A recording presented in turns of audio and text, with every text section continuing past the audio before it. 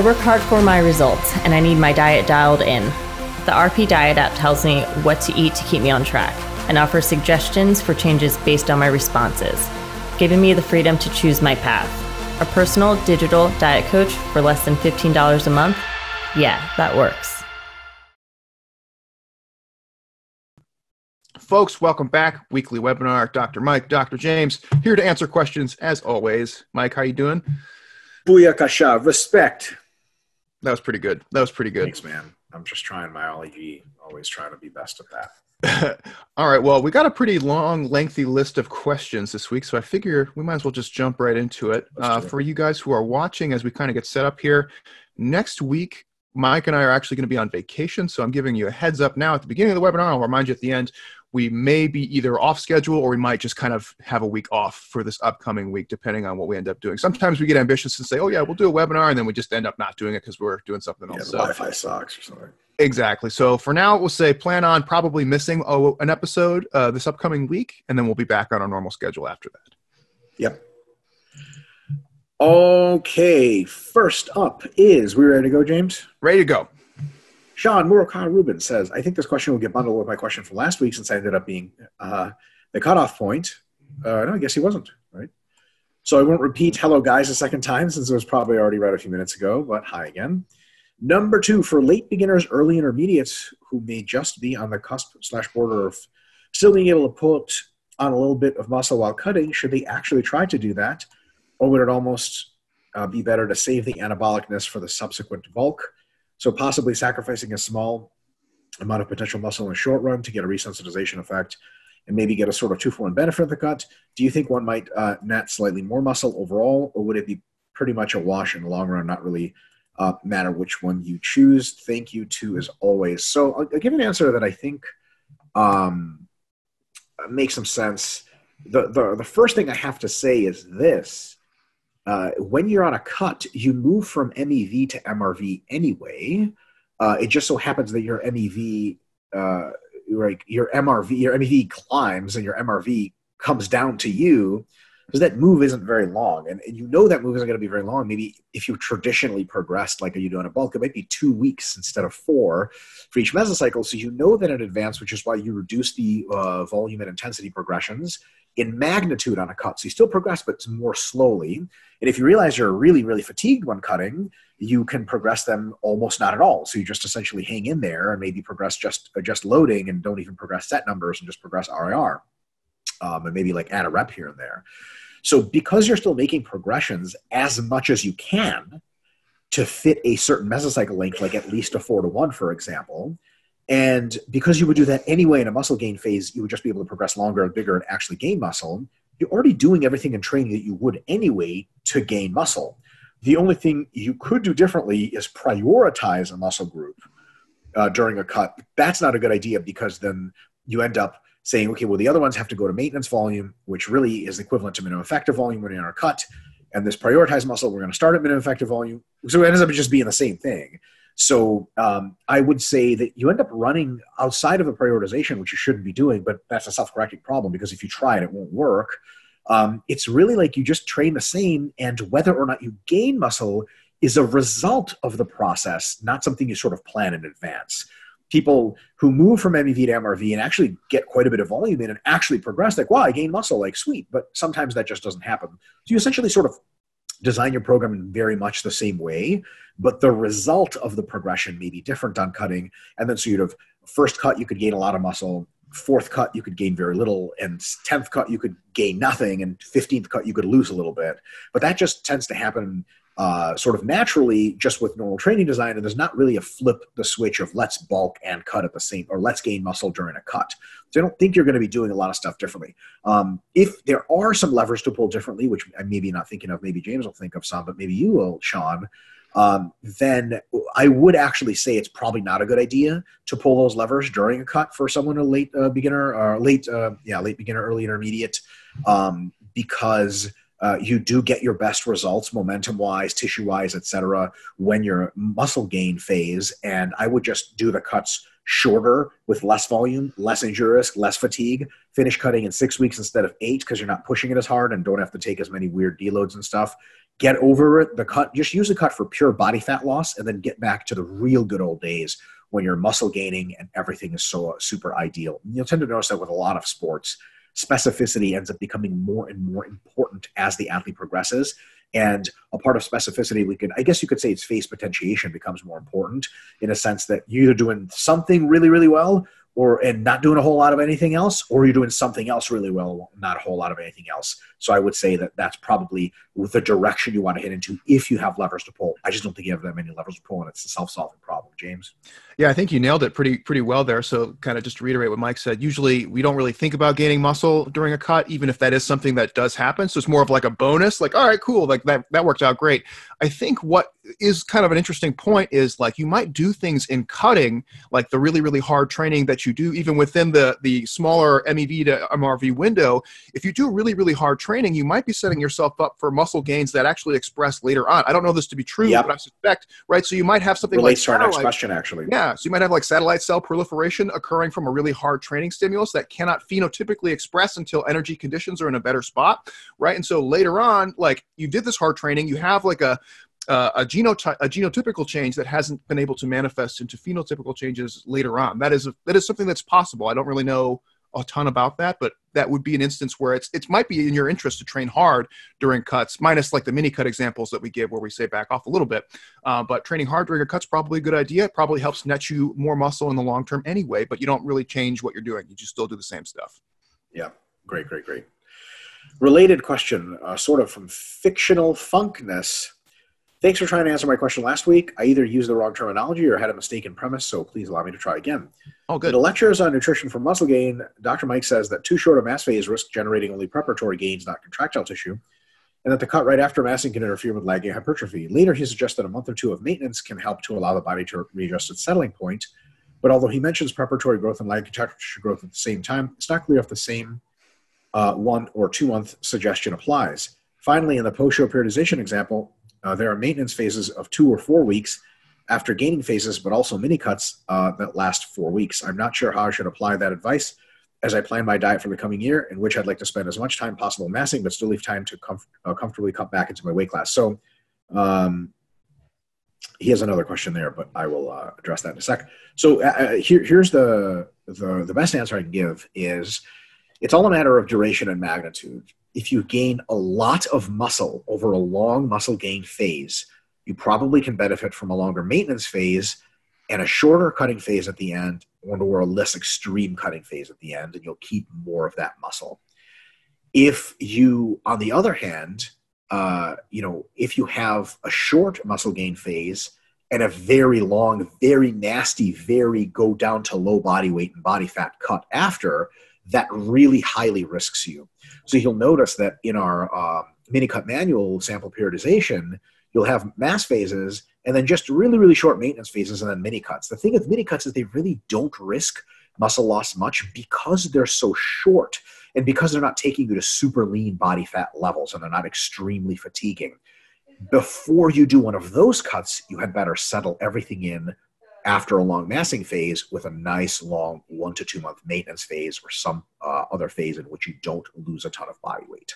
Um, so we really, really warn against this doing a huge mass, or actually the worst possible thing, super fast, super short mass, and then a super crazy cut. You'll be likely to maintain. Uh. Yep, that's it, right? Because uh, people will say that, right? They'll be like, "I'm dieting for six months."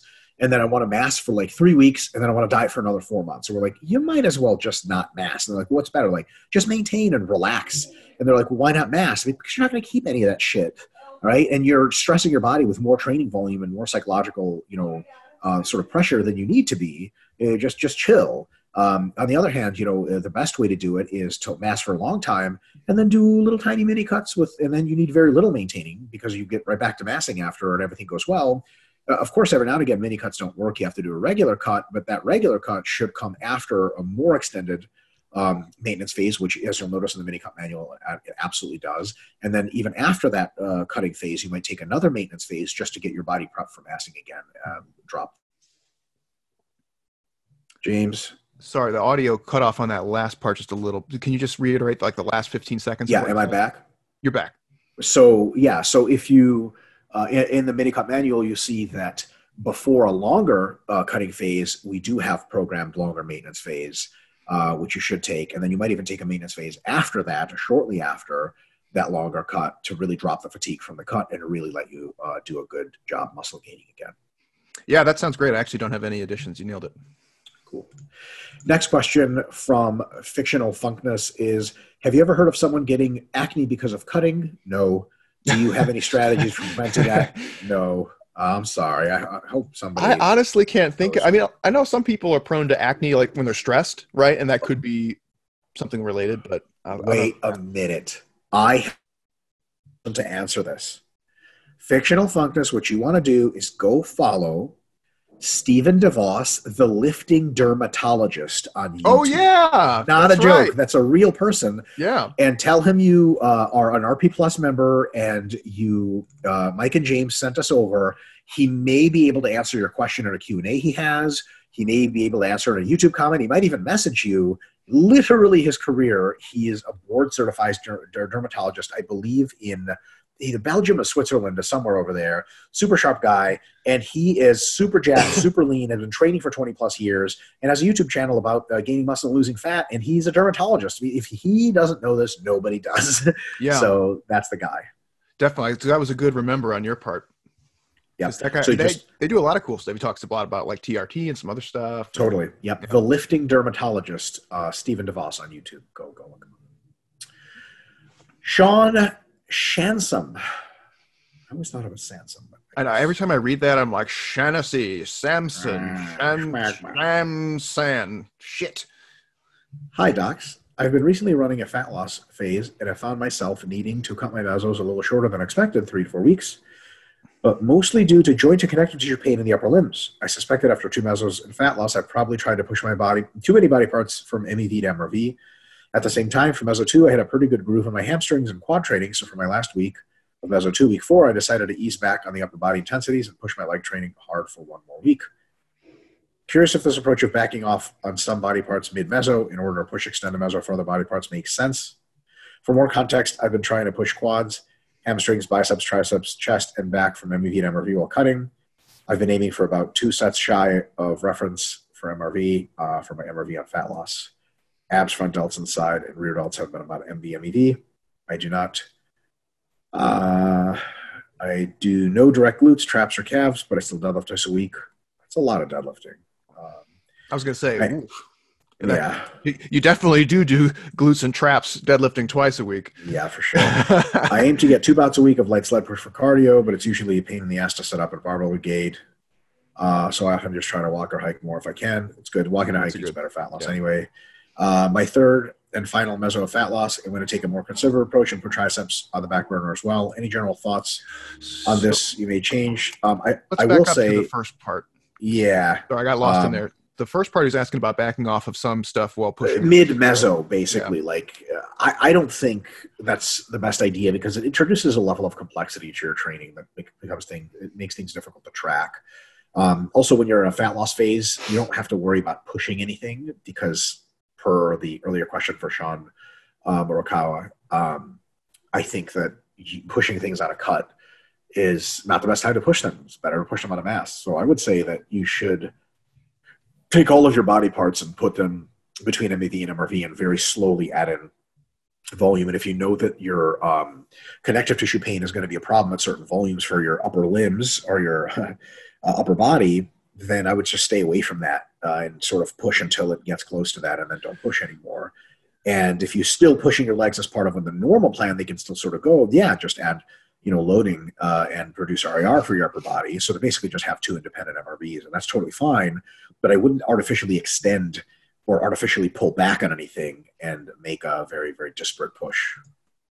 Yeah, so I think instead of trying to adjust your mesocycle length or anything along those lines, I think what you might consider doing is changing the exercises, obviously that are seems to be exacerbating the pain, um, and then also consider using a, a, lower frequency of training. It sounds like you maybe are just having too many overlapping sessions. If you're consistently getting like joint pain, that's holding you back from doing mesos. So if you're training triceps, you know, three times a week, get it down to two. If you're training biceps, you know, four times, get it down to two or three. See if that helps. You know, if, it, if I, I don't remember if you said specifically, but uh, joint and connective tissue pain in the upper limbs. Yeah, so I would say maybe dial down your frequency a little bit, see if that helps. That uh, might be also giving you some problems. Yep. Uh, and then he says, You may recall I asked a question a while back about leg size strength discrepancies. Interesting, I've noticed my leg strength discrepancy has almost entirely disappeared on the cut, while the discrepancy has not changed. Size discrepancy has not changed. Did you? I was going to say, did you have one really fat leg and one like? Uh, yeah. to be clear, I haven't yet altered leg training to correct the discrepancy. Would you expect strength discrepancies to be minimized on a cut? Any physiological rationale you could think for this? Um, my physiological rationale for this is that on a cut you do potentially more cardio and the leg that does uh, you've increased cardio on both legs and the cardio might have become more fatiguing than that good leg is used to, and it had a fiber type conversion more than the other leg, which you might use more. Um, but that's a very speculative thing. Um, no clue about what we really would expect. Um, and I wouldn't worry about any of this stuff, man. If you want to fix it, you know how to fix it. And usually these strength and size discrepancies are wholly irrelevant anyway. Um, you know i would also say it could be you know of course it could it could be a thousand different things but you know sometimes like for example if you pick a movement and you start noticing like you, you pick a movement and you're going to use it for the next several mesocycles like a squat for example and you're like oh man i'm really leaning on one side or i can feel like there's like a definite discrepancy in my technique or in my strength on you know one side sometimes just doing it for three mesos in a row slowly but surely starts correcting itself into a more symmetrical kind of configuration while you're doing the exercise. So i would also just posit that it might not be the cut itself but just like sticking with an exercise long enough to make a long-term uh, either muscular strength and or technique adjustments to the movements and just kind of bouncing out a little bit. That that is feasible yeah. Yeah, very good. Declan Ward says, Hello, hello. First off, a question of weightlifting programming. Oh, power boy. variations, power snatch, less cleaner staples, and traditional weightlifting programs are lighter on fatigue than full lift while still providing stimulus. If you were to put a percent on how you would, how do you think they would compare to the full lifts in terms of stimulus and fatigue? A lifter with a high strength reserve, uh, clean and jerk to squat ratio uh, would receive less of a stimulant. Well, hold on a sec. A high strength reserve is actually a low clean and jerk to squat ratio. Isn't that true, James? That's what I was thinking. Actually, I was I was read I was yes. doing a read because I was like, wait a minute, wait a minute. Squat to clean and jerk ratio is strength reserve. I think strength reserve means like if you You're disproportionately strong. Six, yeah, if you squat 400 kilos but you clean 100 kilos, you have a big strength reserve. It's the other way around. It's the other way around. So I think it's the squat to clean jerk ratio. But um, Same, we got so yeah. yeah, lifter with a high strength reserve would receive less of a stimulus from the traditional lifts than someone with a oh, lowered. Mm-hmm. Yeah, so I, I, think he had the right idea. Just put it backwards, but yeah. Then with a lower strength reserve, so uh, less of a stimulus. Yeah. So would power variations even be worthwhile in the program until their classic lifts have improved? Certainly less worthwhile. Um, but generally speaking, uh, so it, it, also so so some people you get some lifters who have a really gnarly strength reserve, but they actually aren't that good at the power moves. Um, and some people who have a gnarly strength reserve that are good at the power moves. Some people just like the power. You know, they're just better at the power moves. Um, and some people are better at full lifts. Um, uh, if I was to put a percent on how uh, they would compare a stimulus and fatigue, I have absolutely no idea. James, do you know?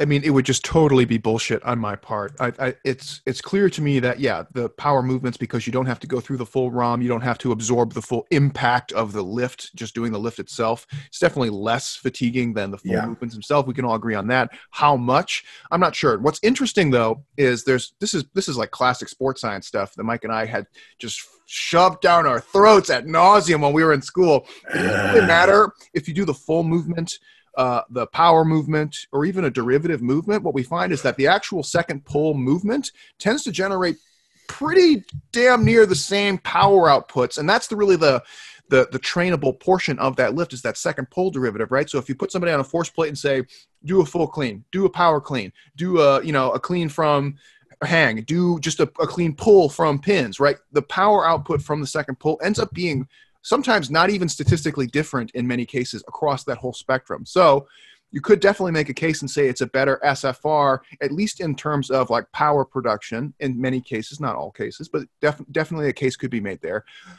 quantifying that, man, I have no idea. It really depends on to like the anthropometry of the lifter, you know, the impacts that they have to absorb, stuff like that. Like if you have like a, a a really short and stocky guy versus like a guy with really long arms and legs, it's going to be completely different. It's really hard yeah. to say.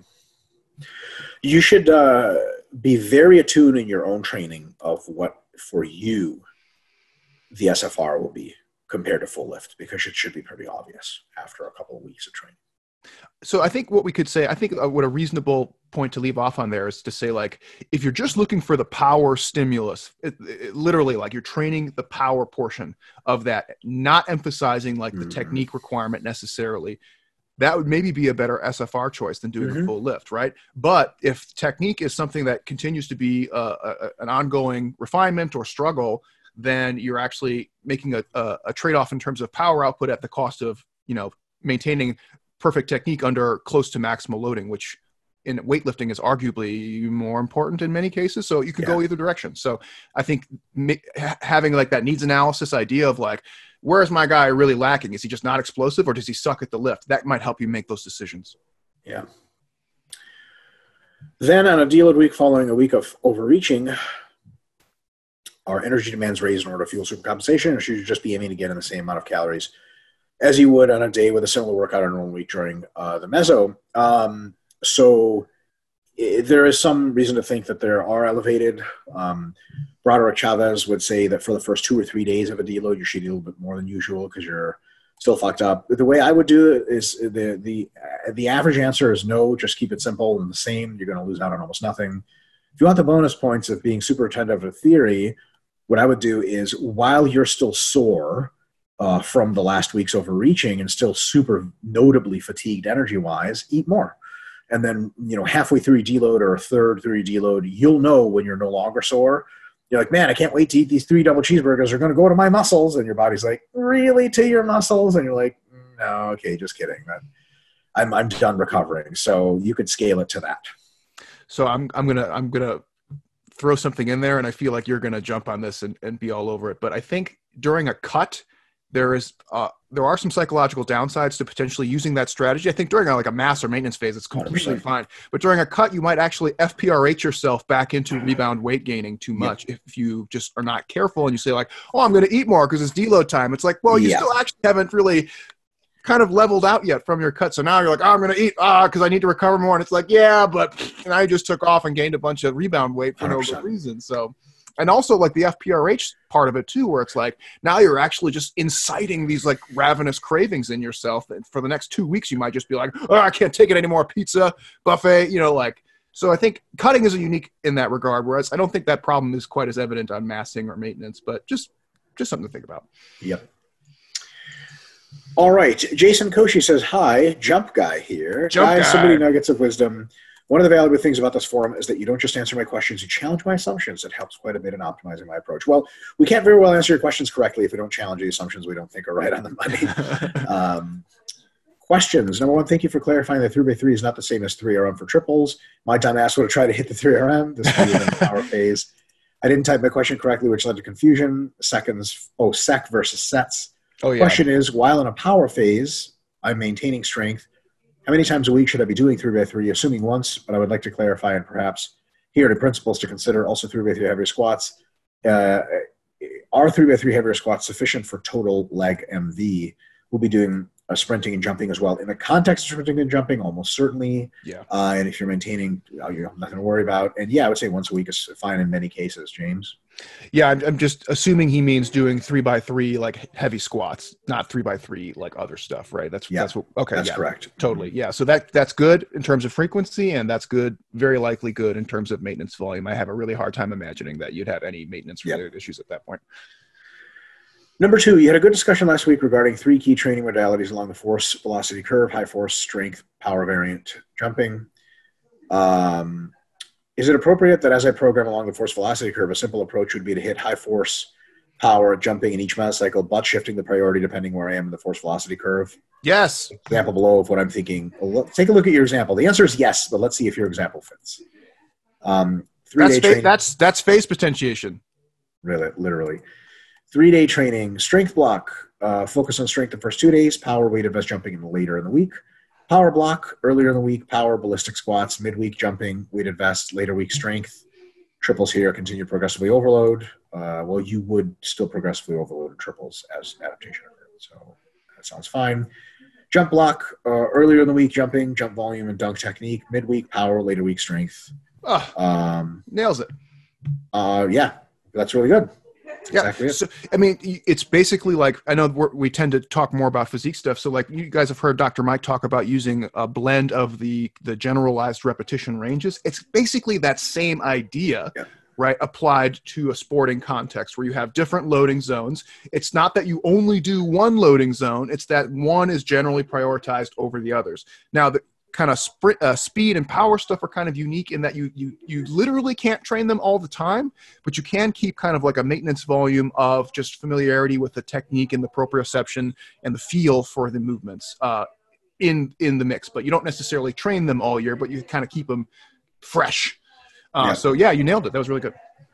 Uh, just one one last thing to add. You know, you can also modulate and should modulate volume and intensity within each session. So it's not just that you have the different sessions; it's also that you have, um, you know, like on your strength in the first two days strength block, you might do quite a bit of strength volume. And then your weighted vest jumping later in the week could just be very, very low volume jumping, so you can save yourself for your strength. In your power block, you might do less, even in your strength work, you might do a few less sets per session, and you might do more jumping when you do the jumping, and so on and so forth. So it's not just the frequency that is altered, it is the per session volume and per session intensity that can alter as well.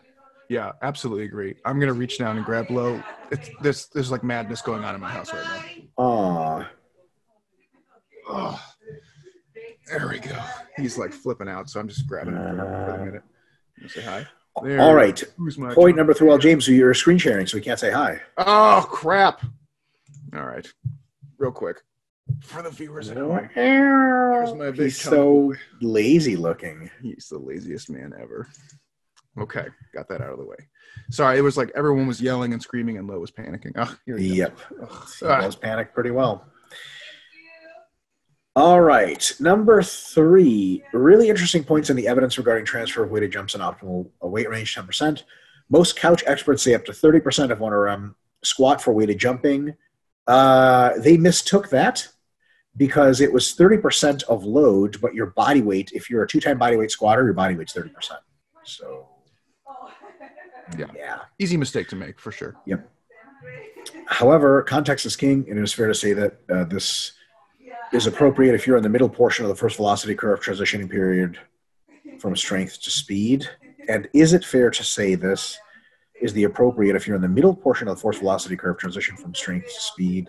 Uh, so Is he, is he is he asking is using thirty percent appropriate when making that transition? Is that the question, or am I? I think it is 10% appropriate. Um, so weighted jumps with uh, 10% and less is, I would say, training for both power and speed. But if you're doing a, like Olympic weightlifting derivatives, then it, it is 30% of your, um, you know, your full ability to, to do that lift. Um, Whoa, excuse me.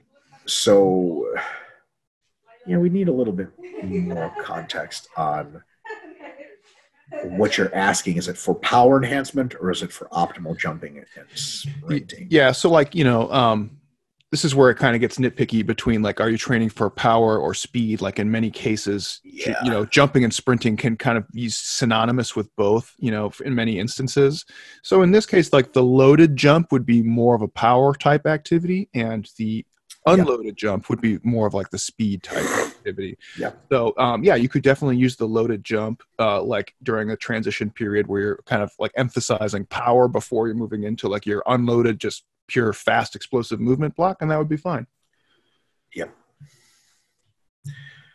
I'm gonna Uh, I, am gonna mute myself. I have to ask Mel something. Sorry. can I keep going or Yeah, please do. taper versus deload? What are the differences? For instance, if before my final dunk week I end on a deload, is there any real difference between this and a taper? So um, a deload's job is to drop fatigue while conserving uh, adaptations, which means it can be very general and it could be a lot of a drop. Um, the taper is something that drops fatigue plenty, but really seeks to uh, keep very specific adaptations. So in a taper, you would do a lot more of the competitive activity during the taper. On a deload, you might do very little or none of the competitive activity. Um, also, uh, deloading is long enough to buy you another mesocycle. Uh, or, or, enough fatigue reduction. Tapering is enough fatigue reduction to maximize performance. In beginning lifters and athletes, the deload and taper might be the same thing. Uh, in uh, even for power and speed and beginning athletes, the taper uh, might last only two or three days, and the deload might last longer actually. Um, but uh, in advanced athletes, usually the tapers start to get longer than the deloads in order to do what they have to do. Absolutely, yeah. Um, sounds like you got that covered pretty good. Number five, thanks for recommendation uh, regarding using a 10% body weight vest for jumping. I'll incorporate that when I start dunk practice. I always knew uh, anime, Goku, and Rock Lee uh, weighted right. cloth, cloth That's right. training was rooted in deep science, or is it deep science rooted in anime? Aha, the ultimate question. Mm-hmm. Chicken or the Um, right? I like when Piccolo would take off his armor and it would like break a rock. Like, Yeah, people would be like, whatever, and he'd drop it, it'd be like crunch, and everyone would be like, oh shit. What? hey. That's how I felt taking the weighted vest off at the end of the day. Just like, oh, so much lighter. It's tempting. I might have to start using a weighted vest.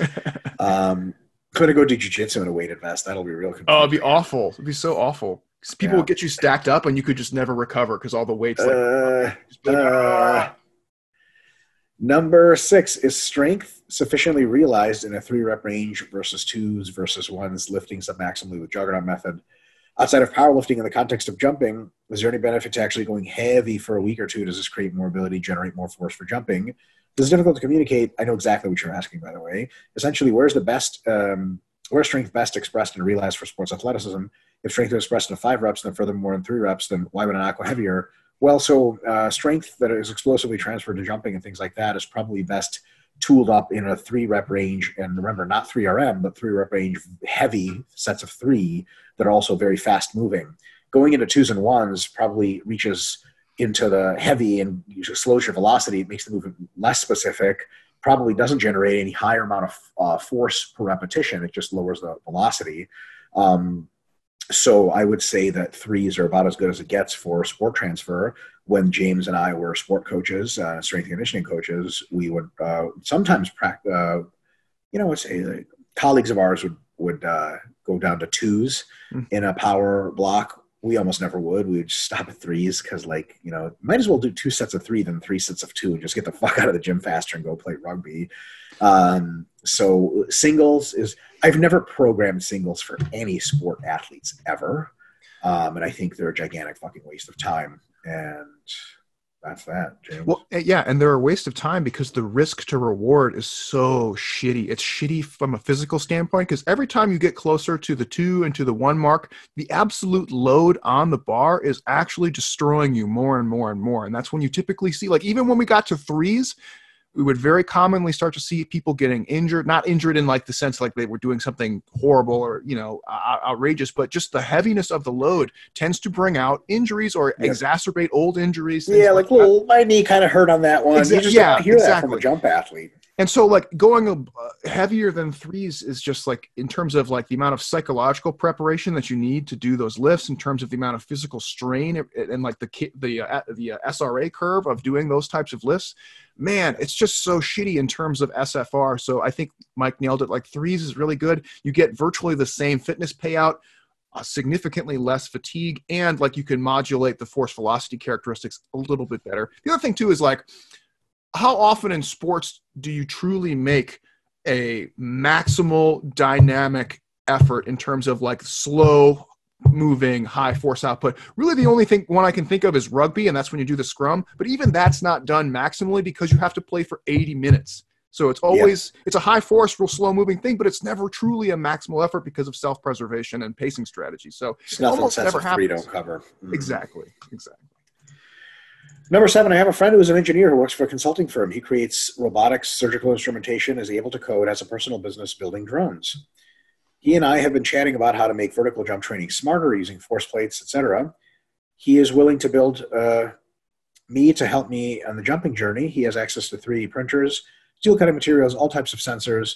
Would love your creative slash out of the box thinking on what, if anything, you would ask him to build to what end, some ideas I could use some type of sensor technology to ma- measure standing vert. I use it to auto-regulate jumps, perhaps when power goes down in a significant way stop uh, activity for a set or day, etc. Identify where along the force velocity curve I am, which could help optimize training closer to peaking. I'm gonna give you my opinion, and then James can give you his. My opinion, all that shit is fucking dog shit. Doesn't do anything. Uh, all the all the all the, all the intel you ever need about your how your power training is going is, is like a like a like a Vertec, like literally just like how high can you reach for your dunking specifically, that's very instructive because it's a it's a jump reach test, which is exactly what a dunk is. So if you get a Vertec, I don't even know how much they cost, like hundred dollars, you get the fucking just pipe with fucking little things, and you can touch and jump. If you use that several times a week to uh, either modulate how high you're jumping, like do reps to a certain height and hit the height every time, or do maximum jumping and track yourself that way, I think that uh, anything else is just almost pointless to have because if you if you so so for so for example identify where along the force velocity curve I am you already know that by how strong you are and how high you can jump uh, auto regulate jumps perhaps when power goes down. How do you know power goes down? Because your Vertec numbers go down and you know your body weight so you can calculate power using an online calculator. Um, sensor technology to measure standing vert. Guess what else measure standing vert more specifically? A Vertec which actually incorporates where your hand goes to. So it's one of these things and James might have a different opinion than this but he might go on his uh, he likes to go on a mini rant of uh, collecting more data and technology than you need to get the job done. It's cool and all, but uh, sometimes the, you know, you know, we got uh, 80 years of, of engineering and barbells still look like barbells because they really work so well. So it's one of those, or maybe it's just uh, having build you a drone that does uh, auto programmed 360 uh, around you, and then when you jump at 360 cameras you, so you have the most baller dunk video of all time. Say, put, a, put, a, GoPro on that drone. That's what that's 100%. what you got to do. Uh, yeah, yeah I, I, tend to agree with Mike on this one. So there's really nothing there that like um. There's also like a lot of really easy, readily available stuff. Like a just jump mat costs like I think like 200 or 300 bucks. I mean that's great. It's basically a force plate that you can like that's uh, readily available jumping force plate. It's not very expensive. Uh, so there's that. You can get the push band, which is something that can get you a lot of data for jumping velocity, power output. You can get, there's another one called, uh, I think it's called the Beast sensor, which is like a little Bluetooth magnet you can put on stuff. Does the same thing that the push band does. It's just an accelerometer. Um, yeah, man, you don't really don't need you don't need to build a force plate just for like a dunk thing. Like, how do you know if you're getting better? Like, are you closer to dunking? Okay, like good. I've, I saw your pictures. I know that you have documented your hand height on the fucking basketball hoop. What more do you need than that? Which is was a really cool uh, Instagram post, by the way. You can see his hand like getting higher and higher and higher. Um, That's it. The thing with auto-regulating jumps is this is where you run into a problem where you can have measurement devices that look at your jump height or the velocity of your jump, and really the auto-regulation portion comes into situations where uh, it, only tells you not to jump, right? So you, you do jump, right? It, it, you, you do a jump and it's like I can't produce that much power or speed today. So like, what's the answer? It's like okay, well, don't do your jump training today because you are not in a good state of preparedness to train for jumping, right? You can't generate an overload because you're so you're like below 80% of your best in these parameters, right? So, okay, that's great. But then it doesn't tell you what to do later, right? It, it only will just reaffirm like either today's a good jumping day or maybe we shouldn't be jumping today. That's kind of the problem. So you can do that. Man, I just don't think it's like a, a really great use of your time. That's all. Yeah. It's not it's like, okay, now what? Do I jump tomorrow? I don't know. When am I going to be ready? Like, hmm, Yep. Yep. Yep. Yep. Man with one of the greatest names ever. Oh, this name is real, by the way. Zach Drawl. I was thinking droll, like, oh, you're so droll, Michael. Well, Zach's name is a nickname for Anadrol, which is a hell of an anabolic. I, I, want Zach to do like a USAW meet, and like the people are like picking people to drug test. You're getting tested. Like Zach Drawl, get in line. Like, God damn it. um, all right. He says, How do? I recently had to switch to AM training to facilitate a new business, but also 2x a day training on a few days.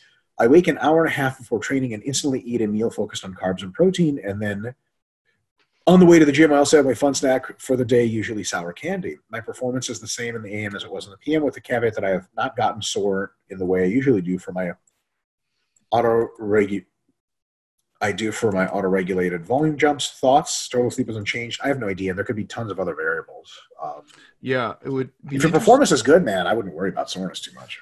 Yeah, and I wonder too if it's related to like when you ate your meals. Like if you tend to be like a heavy eater in the evening because that's when you would train and get home from work, and then you'd be like, okay, now I have like, you know, I still got 300 grams of carbs to get down by the end of the day. That might be kind of influencing that. Whereas like now you train in the morning, and maybe your eating habits are still similar, and you might just be a little off schedule in terms of like your timing stuff. Although I really don't think that's a big deal either.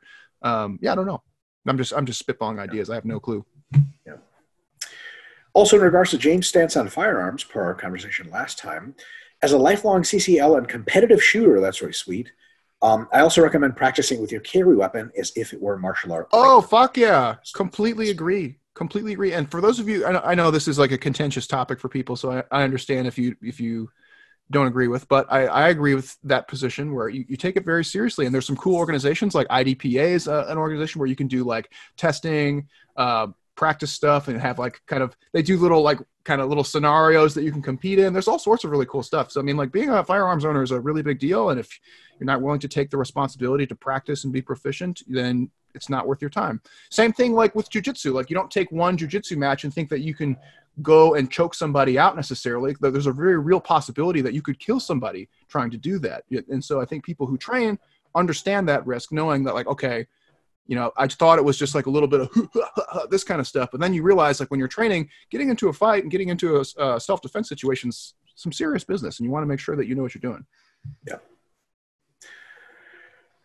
Charles Vicker says, Hey, docs, hope you're well today. A couple of questions for you. Number one, I'm about to start nursing school.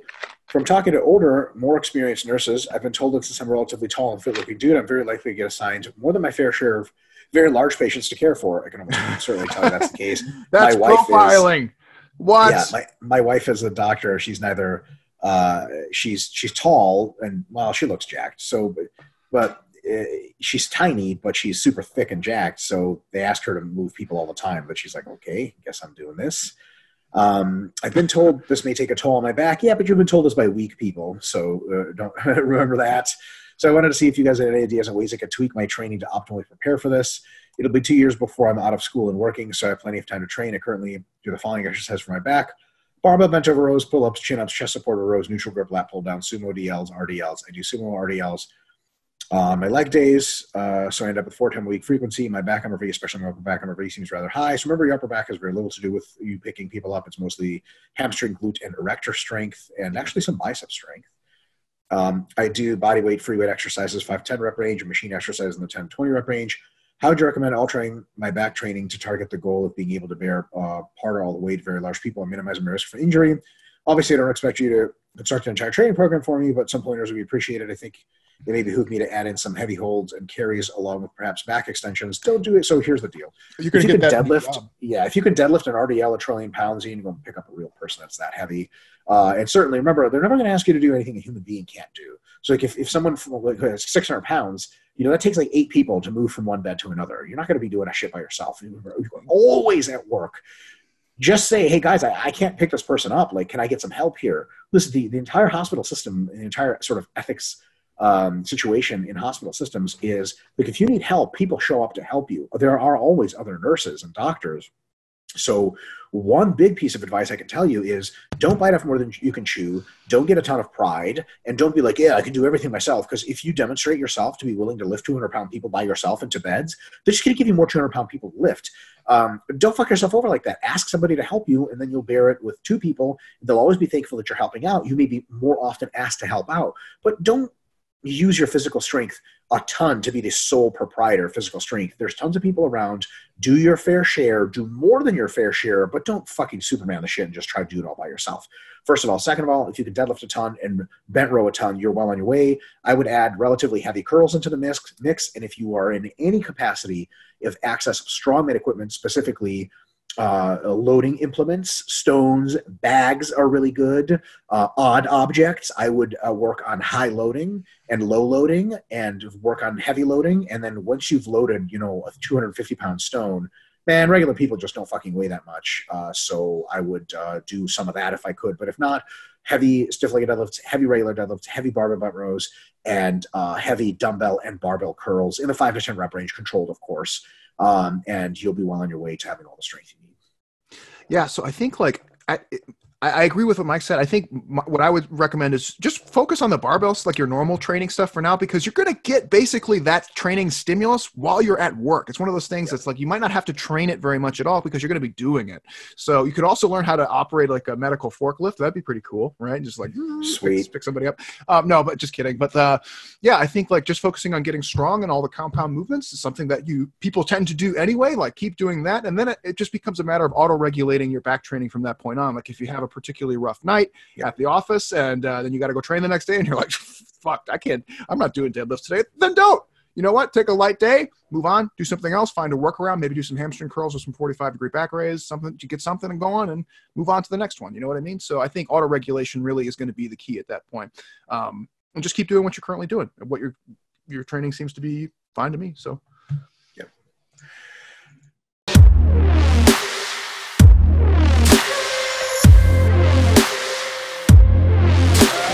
Structure and flexibility.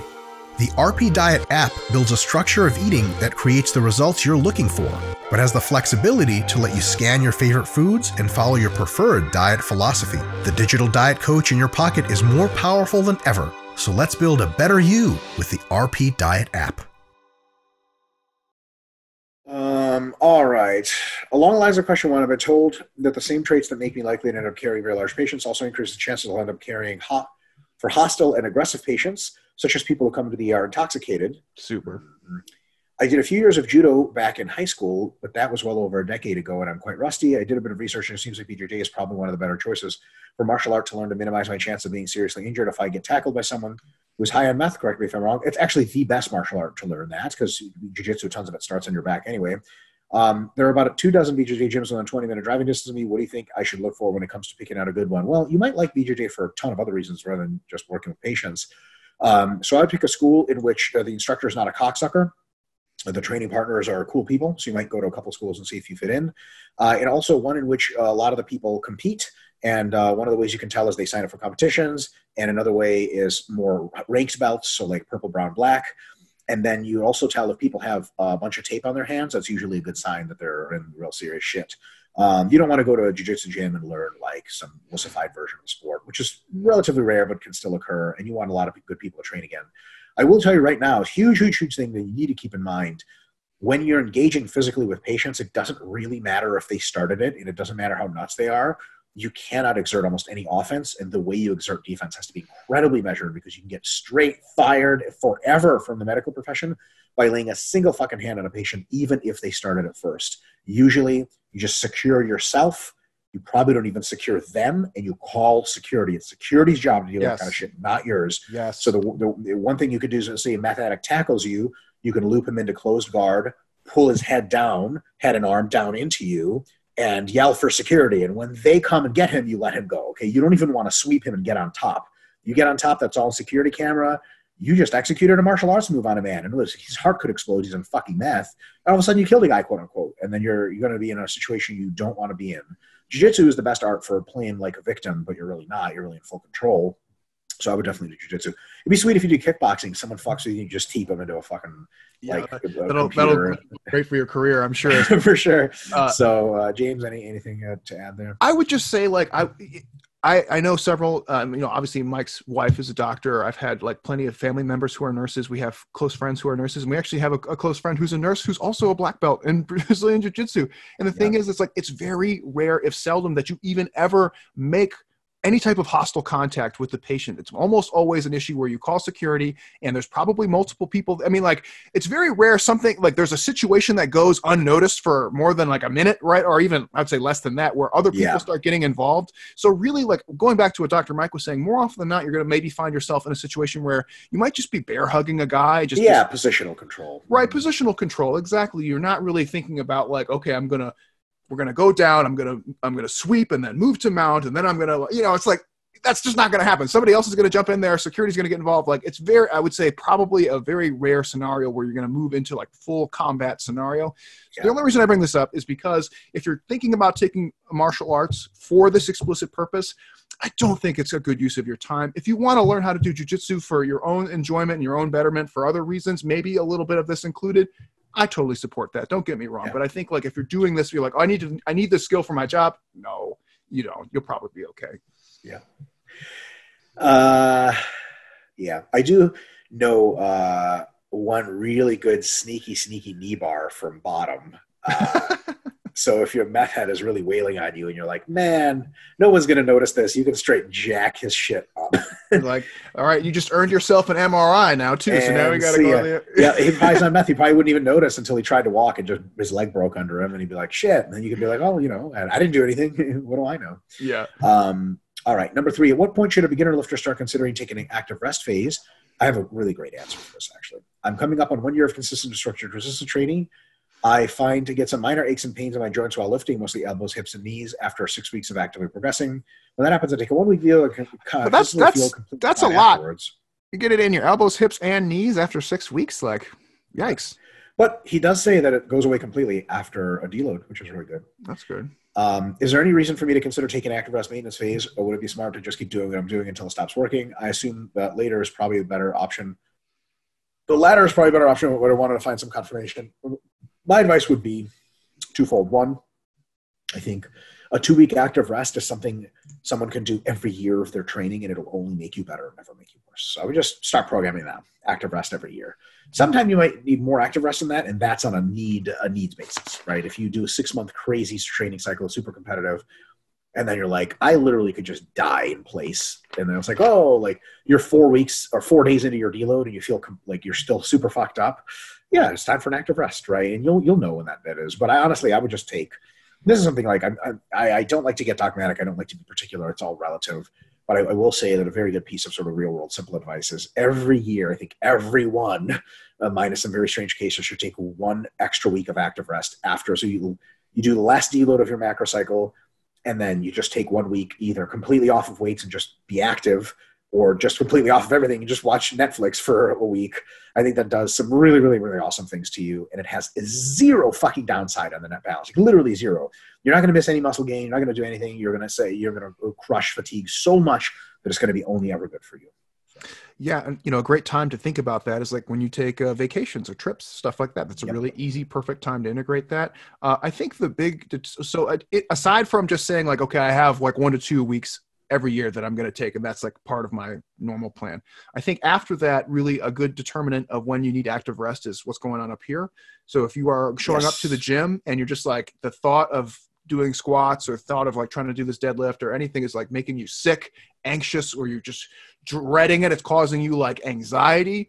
That's a really great time to take active rest. If you never get there, just keep doing what you're doing. And like, so there's nothing saying that you have to take active rest. Like, if you don't necessarily need it, it's probably a good idea to take some, like Mike already said, throughout the year. But that doesn't, that's like one to two weeks a year. That represents a very small amount of time. Like, if you don't really need to take the extra rest for your mind or your body to heal, keep doing what you're doing until it becomes a problem. 100%. Khalid B says, Hello, doctors. A few questions for you. Number one, following up on last week's question where I mentioned I kept one rating consistently throughout the mesocycle okay, I kept rating one because it's the other mesocycle on the male physique template. I did so because I wanted to ensure that each microcycle is overloading. Uh, Khalid, don't do that. Khalid, goddamn it, don't do that. Yeah, Microcycles are overloading even if you reduce the volume, if another variable goes up. Even if you reduce the volume, another variable does not go up. The overload is a range. It is not a point. You're still very well within the range you can do a mesocycle of eight sets or a microcycle of eight sets, then six sets, then four sets. And if your MEV is two sets, you're overloading every single time, even though it's declining, because that's not optimal, but it's way, way good enough. So when you do things that you want to ensure that each microcycle is overloading, I 100% hear you, but you got to think about fatigue as well. Overload is never a training principle by itself.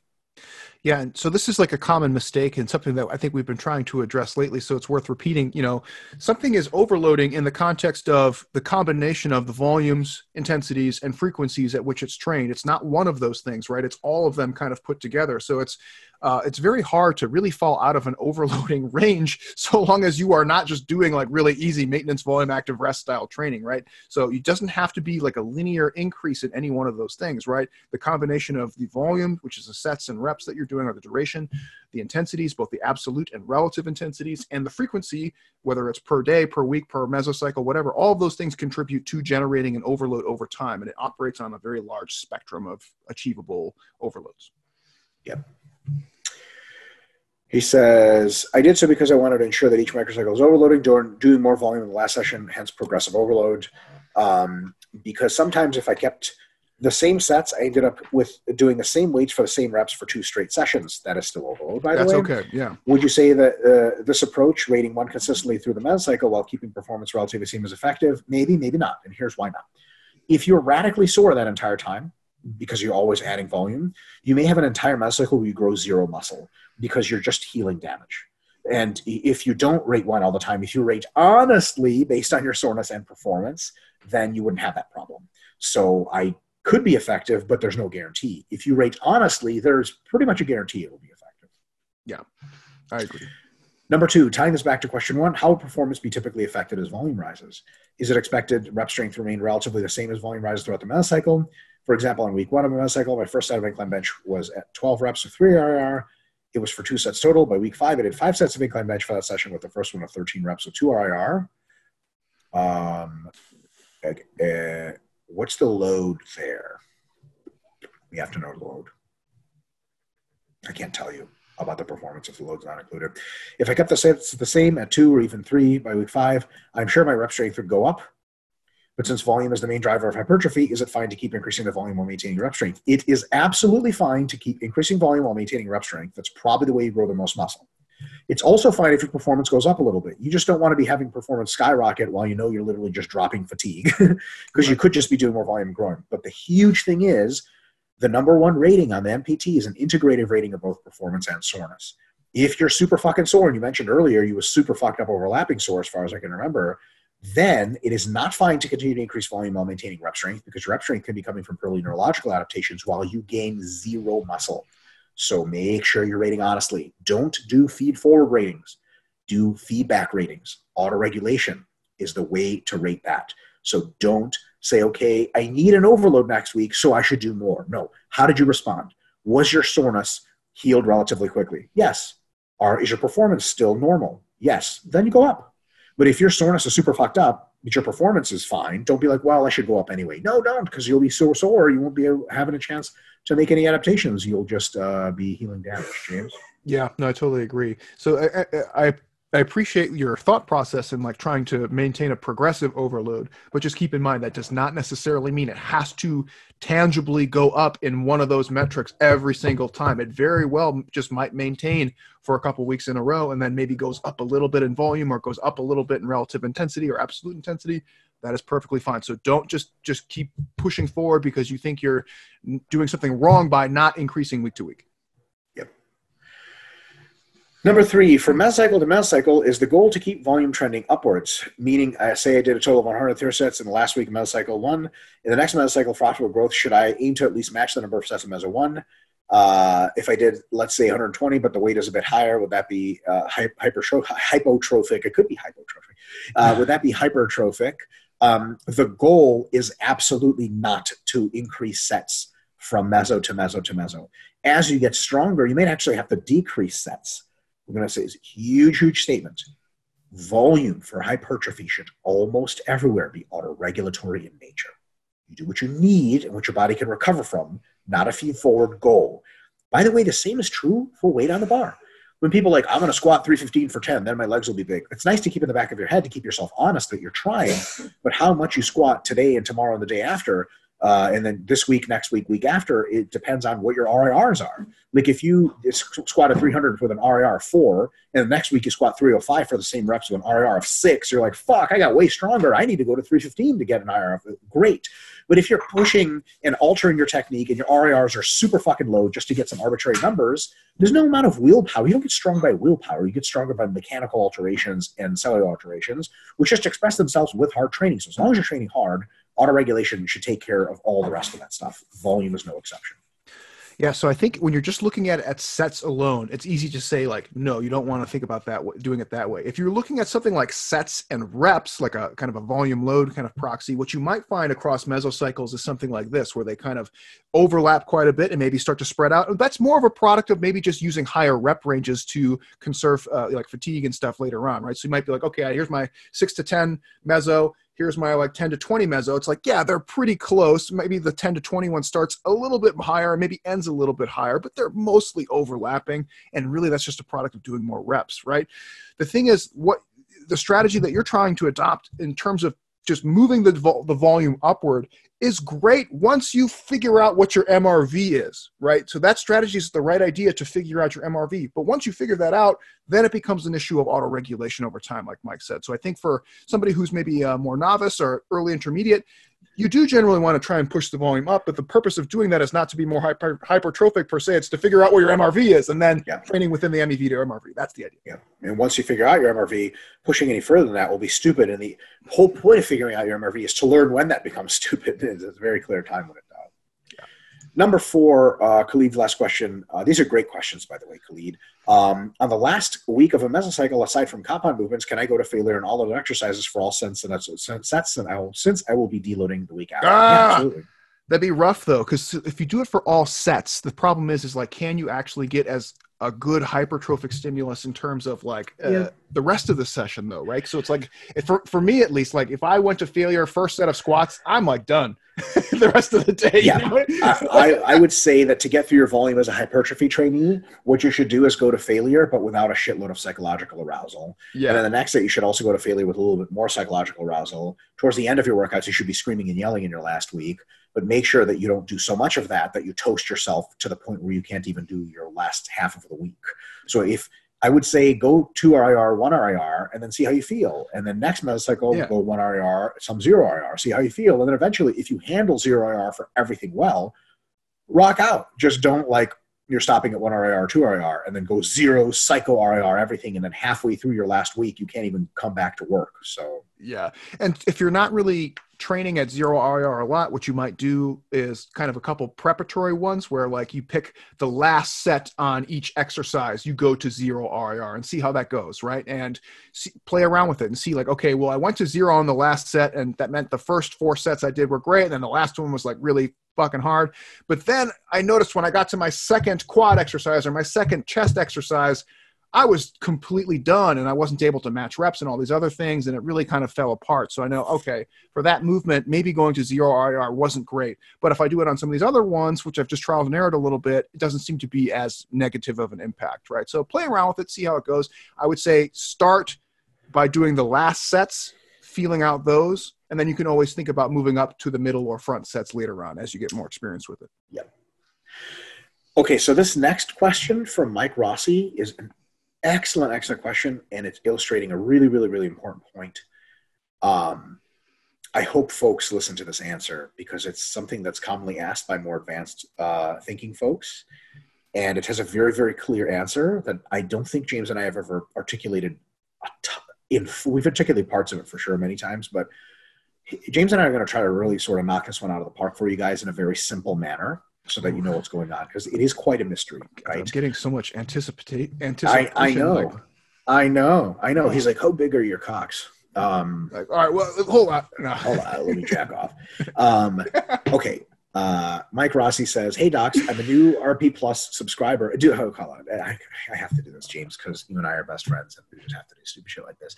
Can, um, can you imagine if, like, you know, like you were like Tindering girls, like, hey, send me your dick pic, and you just didn't know that you were supposed to get hard before, and you send her like a totally flaccid pic, just and she's totally like, flaccid, like oh. out of out of the pool, like yeah. turtled up, everything. Just she's like, you're like, what do you think? And she's like, wow, I thought you said you were like like normal size, and you're like, yeah, I mean, like that's how dicks look, and she's like are you hard? Be like, no, why the fuck would I send you a heart pic? You're like, I mean, this why is wouldn't you? You're like, normal pool size. Like it's like a Seinfeld episode where George gets caught naked. Right, right. and, you know, it's what you're gonna get most times, right? It's, it's on you to make it hard. God damn. Yeah.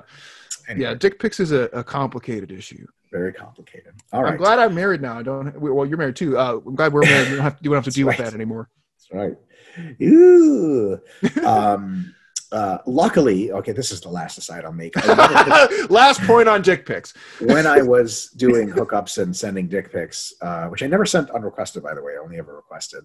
Um, I, I'm, I'm just glad I wasn't like a fitness celebrity back then, because like, bro, if I was on the dating scene now, holy fuck, like, there's, my shit will end up on Instagram immediately, and I'm like, all right, there Yeah. it is.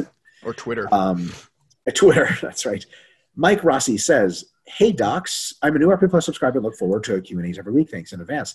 I'm interested in refining how I evaluate volume progression for exercises done later in a long workout. I use the volume algorithm to determine set additions based on previous week's performance slash shortness, and I feel I have a solid understanding of my MEVs and MRVs for supplemental mesocycles. However, I feel there is too much noise when tracking progression on exercises done later in a workout because so much intrasession fatigue has been accumulated Mm. from the compound movements done earlier in the workout, especially when I've added load and or sets to those movements and I'm pushing them closer to failure the previous week. By the final week of a meso, it's often difficult to maintain performance on the exercises later due to the additional intrasession fatigue, even if I'm more recovered and coming into a workout. As a result, I'm left unsure whether I'm actually hitting my MRV for certain muscle groups, such as triceps and side delts in this example, or I'm instead entering junk volume territory due to the total volume for a single session.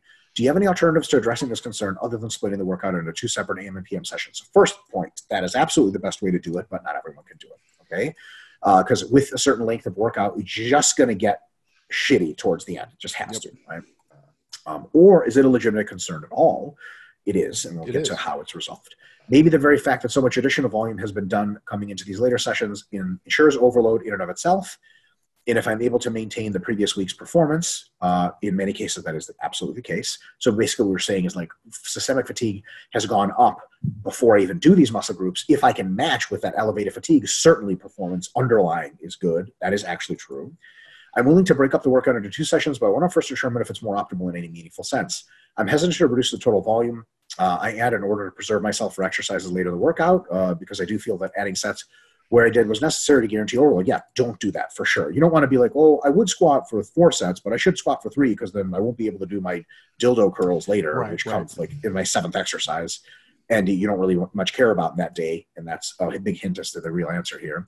I've provided my week three and week four performances with my current week four mesocycle for more context, but feel free to ignore it if you're more comfortable addressing the question more generally. We are. Uh, you'll see that my performance dropped off on the two tricep movements and was roughly maintained on the side delt movement. So, Real quick.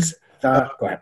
just for formatting stuff guys i i can appreciate when you want to post like specific workout stuff in this uh but in the forum like it comes out so shitty when i try to like do this so just do me a favor and if when you post stuff like this don't, like tab it out really crazy because then it just means i have to like untab it out later so just keep them as simple as you can just for future Cool. i don't we don't mind seeing this kind of stuff but sometimes it's a pain in the ass in the form. so that's all Yeah. okay, here is the answer to how to deal with this because this is something everyone deals with. When you have longer workouts, the latter half, the latter third, especially of workouts, tend to suffer from this problem of you basically would have to essentially say, okay, I'm reaching MRV because I'm, I'm I can't possibly match performance. Clearly, my triceps or whatever I'm doing last are overreached. But are they? The answer is they might not be, and here's why: your intra-session MRV might have been exceeded before your weekly MRV has. That's a big deal because intra-session MRV we don't so much care about a ton. It doesn't, you know, yeah, you go over a ton, you just have higher, lower quality training. But because you've put a muscle group at the tail end of a workout, you've already accepted lower quality training. You're trying to do easier training. So point number one is make sure you're not doing four muscle groups in one day and you're pushing all of them super hard. That's fucking stupid because it's basically impossible. So the last muscle groups, you should be the ones that you're less prioritizing and thus don't super care about losing performance on and don't super care about progressing in volume a ton. But how do you answer the question, uh, i- i- given that your triceps, let's say, are fifth exercise, and given that they're stalling in performance or lagging, how do you know if they're over their MRV or if it's just systemic fatigue? There's a very good way to tell. When you do your triceps later in the week, another time in the week, and they're early, are they suffering in performance? You basically have exercises that are early for a muscle group, fresh, other parts of your week, and some other parts, they're not fresh. The fresh ones are your canaries in the coal mine for MRV. Because if your triceps suck fresh, your MRV is fucked. If your triceps are amazing fresh, but after 16 sets of chest and back they suck, they're fine. But you're just not going to get the greatest training in the world from triceps, nor should you be trying. Like I can understand a four sets of cable pushdown, superset to push-ups at the end of a big day of everything else. But you know, don't do a whole tricep workout at the end of a whole chest and back and leg workout because it's it's, it's going to be dog shit anyway. Yeah. So you want to know uh, you want to have times when your triceps get trained early. So, for example, like in my training, we have a chest tricep day and another push day. Uh, we have three days, but uh, the other one's super easy, so I'll just get rid of that one. We have a chest tricep day and we have tricep chest day. So, how do we know our chest? Uh, when chest stuff is second in the day, how do we know if we hit our chest MRV? We don't, but we have that first chest day to tell us. And remember, when you exceed your MRV, it's on a weekly basis. You'll know when you're fucked up. Um, so a lot of exercises, you know, sometimes um, I travel a lot and I use different leg press and different hack squat machines. So who the fuck knows what my MRV is? But I always barbell squat. Barbell squats are always the same. When my barbell squat starts to tank, I know for sure it doesn't fucking matter if I hit a PR on some dildo leg press machine. It might just be the machine. So you want all, most cases to have muscles trained fresh. Okay, you want them trained fresh at least sometimes or fresher first, second, and then you want to maintain, really maintain your eyes on those. And if those performances are good, you're fine, no matter how dog shit your performance is on the on the workouts in which they're last. If those go down, doesn't matter how good your performance is on the other workouts, you're you're really in a really bad place. And you can respond with the following. You can say, well, look, sometimes my mesocycles is not prioritizing these certain muscles and they're never on the front burner. They're never one or two. They're always in the back well, then you should be training close to MV or MEV anyway, and you don't give a shit about your MRV because you'll never hit it for those muscle groups. So if you're going MEV to MRV in any muscles, at some points in the week, they should be up in the uh, first couple of exercises. Those are the ones you look at. The ones that you're programming later, just keep them to a real minimal amount. Don't worry about the progression. Just try hard, get closer to failure, and you'll do a good job. James? Yeah, that was really good. I'm uh, I'm just reading through some of his examples, and had a couple points here. So the first is like, yeah, like your JM press, you know, in terms of like RIR and some of the reps went down. I honestly would, I mean, like on paper, because the reps are similar uh, and they're done at a lower RIR, like, yeah, it's, you know, you could call that a performance decrease, but I mean, it's so close. The tricep press down one is a little, um, more evident in terms of reps, but even then, like it's still pretty close. I mean, the first two sets clearly there's a little bit of a difference there, but I don't know. So I think yeah. what, what Dr. Mike's kind of getting at there too is like uh, auto regulation is still king, even for some of these latter exercises. And then at that point, you just know like, okay, well, I'm just going to do what I can in some of these. So we already mentioned like the AM and PM is probably a good solution to this problem when you find that you are maybe kind of getting into that that session level systemic MRV. Another option that you can play around with is just increasing the muscle frequency per week. Maybe not necessarily increasing the number of days, but just shortening up each one of those sessions and then just training. Like if your chest day drains you so much that you can't do triceps, just do more frequent chest and have each one of those sessions be a little bit less so that by the time you get to triceps, you're not as drained, right? And that might be another. That also allows one of the sessions to have triceps first to do your coal mine and the canary MRV detection. Exactly. So, you know, splitting up either in terms of more sessions per day or a higher frequency per week within the same sessions per week is probably a really good way to work around the kind of a systemic MRV limitation. But I'm looking at your numbers and like, I see where I see what you're saying, but I, you know, if that was me, I wouldn't be like overly concerned about that. I'd be like, yeah, it's a little bit less. That's that's, that's I mean, that, it's like within the noise that I would expect. Like like sure. you mentioned, it's it's noisy, and yeah, that's. Uh, another thing is this: if you get to your tricep extensions late in your workout and you feel like dog shit from the other stuff and you're already trembling and you underperform, okay, look, that's fucking systemic fatigue. If you feel great and you still underperform, eh, maybe it's just your triceps, right? But again, we don't know, so we have to train our triceps fresh to find out. That's where it really comes. And I will say, sorry, real quick, James. Um, yeah, no, good. Uh, you got bench press and incline dumbbell press as the first and third exercise on both of those days. Look, if your triceps are really actually overreached, those numbers are going down. You're not bench pressing yeah. PRs with a fucking overreached tricep. So, um, and also too, I think sometimes using kind of some of uh, not the uh, ghetto MEV indicators in the sense of detecting MEV, but using things like mind muscle connection, pumps, things like that. Like if you like if you go through this whole day and you get to uh, you do your JM press and you feel good and you get to push downs and your triceps are feeling kind of flat and blah, like just don't do the push downs. Just add another day of triceps later on in the week, right? Because you're probably maybe tapping out what you can get out of your triceps at that point from that day. So not a big deal. Yeah. Excellent question. Hopefully the answer makes sense. Daniel Hacker is back. If one Back is an hack. intermediate, back to hack. If one is an intermediate or advanced lifter going from a physique focus to a sport, does the sport activity, assuming its physical nature, affect their individual muscular MVs? And so, if how, the individual would be isocalorically isocaloric. Uh, yes, because depending on the sport, you could have less or more stimulus to the muscle than they're used to. So, for example, like if you're training neck for hypertrophy, just make a real simple example, uh, you have a certain MV for neck. Uh, and then if you switch to your sport being wrestling, all of a sudden your sport practice is probably MEV plus for neck. So it can definitely affect your MV. It really just depends on the sport involvement. Uh, same for legs and, and arms and so on and so forth. So uh, absolutely, they can affect the individual muscle stuff. It Yeah, depends on how much they work.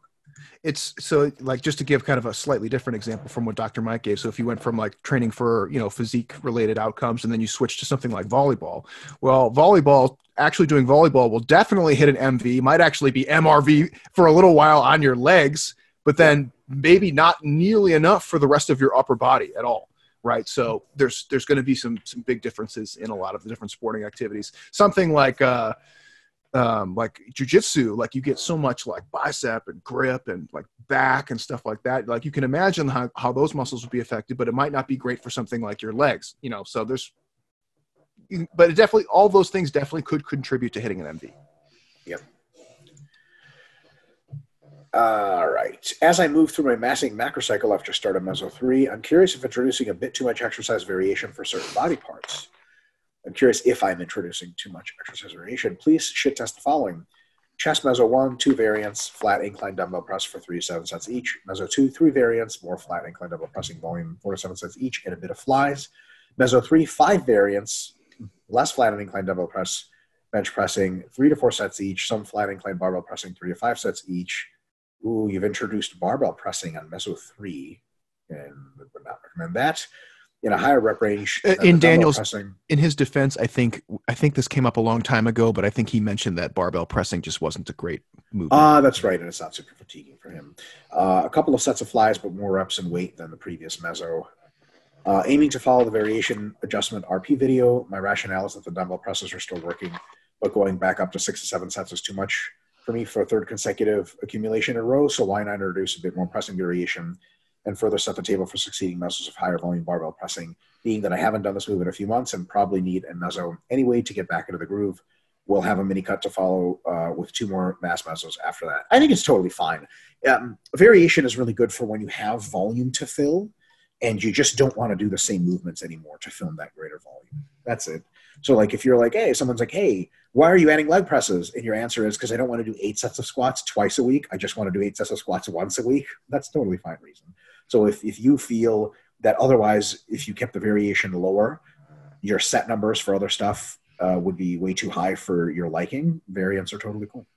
And you know, I think one of the problems that you get with a lot of advanced athletes is the reason why they're advanced is because they built up so much adaptive resistance over time. And what you end up finding is that their like intra-session MAV for any given movement ends up just getting kind of small, where it's like, okay, they got their best pumps, my muscle connections, everything from three or four sets, and then everything after that kind of falls flat. So then the need for having some other movements in there to get that same level of stimulus of pump, mind muscle connection, and all that stuff, you just need to do something else, right? Because you've already done everything for so long that it's very difficult to kind of keep things novel and unique. So Yeah. uh, I, I would say like um, again that's more of a needs basis. Like you you don't have to increase up to like that level of five variants unless there's kind of a, a, a dictate for it.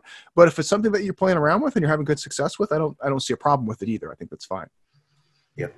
the, the problem you- oh, i take that back. There is a problem in the, in conserving long-term variation from using more variants than necessary but Yep. you, you Don't do it needlessly and you'll be Yeah.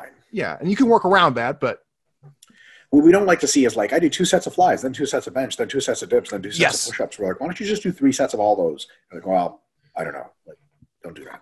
Yeah. Steve Blair says, "Hey docs, a few miscellaneous quick fire questions. Number one for variation, I'm thinking of Bam, bam, bam, bam, bam. We're like Z, fifty-five, Madeleine Albright. Okay, we're done. battle of the bulge shit that's, that's always one, right? Um, for Ver- dude, I just watched uh, another episode of uh, one of the two World War II in color series on Netflix. Dude, the Battle of the Bulge was doomed from the beginning, man. Like they were always going to lose that shit. Hitler's just completely fucking insane at that point, and he like just ignored all of his generals. dude i keep I don't know what it is. I haven't started that one. I always see it, and I always download a bunch of episodes, and then I just never watch them. And then I always James, go back. you're going on a long flight. I would download the fuck out of those episodes. That's what I'm saying. I always do that, and then when I'm on the flight, I'm like, I'll just watch something dumb, like, oh, I'm gonna watch that new Aladdin movie, and I'm like, why did I watch that? That's so James. I know doing it's so something. that you stupid. just- why'd I do that? Um, James, do you have your phone next to you? yeah, Can you do me a fucking rock solid, like the biggest solid ever? sure. Can you send me a text real quick and say Mm-hmm. download WW2 color? Um, because I'm gonna fucking do that now that I have that great idea. Usually I just watch the movies that they give you on the TV, but like, uh, man, I fucking I love that show and I watch it like once every three months, uh, half an episode at a time. And I'm tired of that shit. Yeah, yeah. Netflix is great because they allow you to, to download offline on your devices, man. It's so cool. So I'm gonna do season two of Altered Carbon. I liked the first one. It was a little I've weird. heard good things. Yeah, it's out there. It's kind of like uh, if you took like what's it uh, like Total Recall, Blade Runner, and then like mashed it up with uh, oh shit, I had another movie. I can't. Johnny Mnemonic. yeah, maybe it's very sci-fi. It's very kind of like I would I would say it like looks like Blade Runner. Its plot's kind of similar to Total Recall. It's cool. Cool. Very cool. All right. For okay, number one for Mr. Steve Blair. For variation, I'm thinking of trying very close grip parallel pull downs as a lat movement. Bro Talk has it the closer grips emphasize the arms more than the lats. I love That's that not one. necessarily true um, because the lats get a bigger stretch for the close grip than wide grip, so that's cool. Um, they get less of a peak contraction, so there's that. But it's it's not it's not. Oh, sorry, he said close grip parallel. Yeah. Oh, Mhm. I was thinking Just- close grip underhand, but yeah, okay. Yeah, yeah. Um, since the goal would be to target my lats, would this be an effective lat movement, or would I be better sticking to wider grips to reduce the chance of my arms becoming a limiting factor? Listen, Steve, you never have to ask us a question like this, and I'm not trying to bully you or saying uh, that we're not going to answer your question because we absolutely are. You follow your stimulus to fatigue ratio, man. You should always try stuff, always. Because we, James and I can never ever fucking tell. Look, if you ask like, "Hey, should I do curls for lats or lat pull downs?" So you're like, "What the fuck's wrong?" with you?" Of course, lat pull downs but like different james and i will almost never say like don't do this machine or that grip because people feel differently man. Like what charlie and charlie's my training partner and uh, charlie like him and i will literally use different grips when doing the same exercise because he feels some better than others and i feel some better than others. There's, there's totally. that's how specific it is and that's how little it matters too. It's all about comfort and engagement and what your best stimulus to fatigue ratio is. Absolutely try it. And look at you'll know within two sets if your arms are the limiting factor versus your lats so. And yeah, just- the parallel grip's an interesting one too because it tends to be a very strong grip for a lot of people. So you can it's like a very good movement in terms of like force output. Uh, like for me personally, parallel grips fuck my elbows up. So I do, I use them very seldomly because they tend to exacerbate like elbow joint stuff, and that could be just because I have freak, freakishly long arms or whatever. But everybody's a little bit different. I do like the close grip lat variations personally, and that again it could be because I have long arms, but that for me seems to engage my lats a little bit better than the wide grips. But the wide grips work okay too. Number two, I'm just finishing up my mini cut and I've been able to more or less maintain reps for all body parts except triceps, which seems to have tanked the past two weeks. So everything else is okay. I'm guessing systemic fatigue isn't an issue, correct? And they've never felt um, particularly sore at any point. So I'm wondering if it's local fatigue thing, too much volume, or if I'm losing muscle, too little volume. I know it's not much uh, information to go on, but if you had to guess, would you suggest trying more or less volume next time I cut? Or maybe suggest other indicators I could check to try to make small, to try to make a call. I would check the SFR proxies, um, the amount of a pump you get, uh, the amount of uh, soreness you get, the amount of uh, ti- uh, you know uh, t- uh, tension detect, and the amount of your metabolite summation you get, burn, how much burn you get in high reps. If your tricep training seems effective for that, and you know it's above maintenance volume, then you should probably be good to go. And some muscles just uh, genetically have a tendency to slough off more when you cut. I, I've known folks that just lose one or two body parts uh, more than others every time they cut, and that just may be something you have to deal with. Yeah, and it might be uh, similar to the, the previous question where we had, where the person might just like it for the session level, like doing the cut might just put you into that systemic, the session level systemic MRV. Whereas like on maintenance calories, it really wa- it wasn't. So it could be just enough to kind of squish your systemic, and then those latter exercises are just not doing so hot. It doesn't matter if it's triceps or biceps or anything else. It's just the ones at the end are just not going to be as good. Yep Number three, I typically work out quite late in the evening and then have a very large meal post workout before going to bed. I know there's no rush for super fast digesting protein post workout, but presumably my huge meal would take a long time to digest.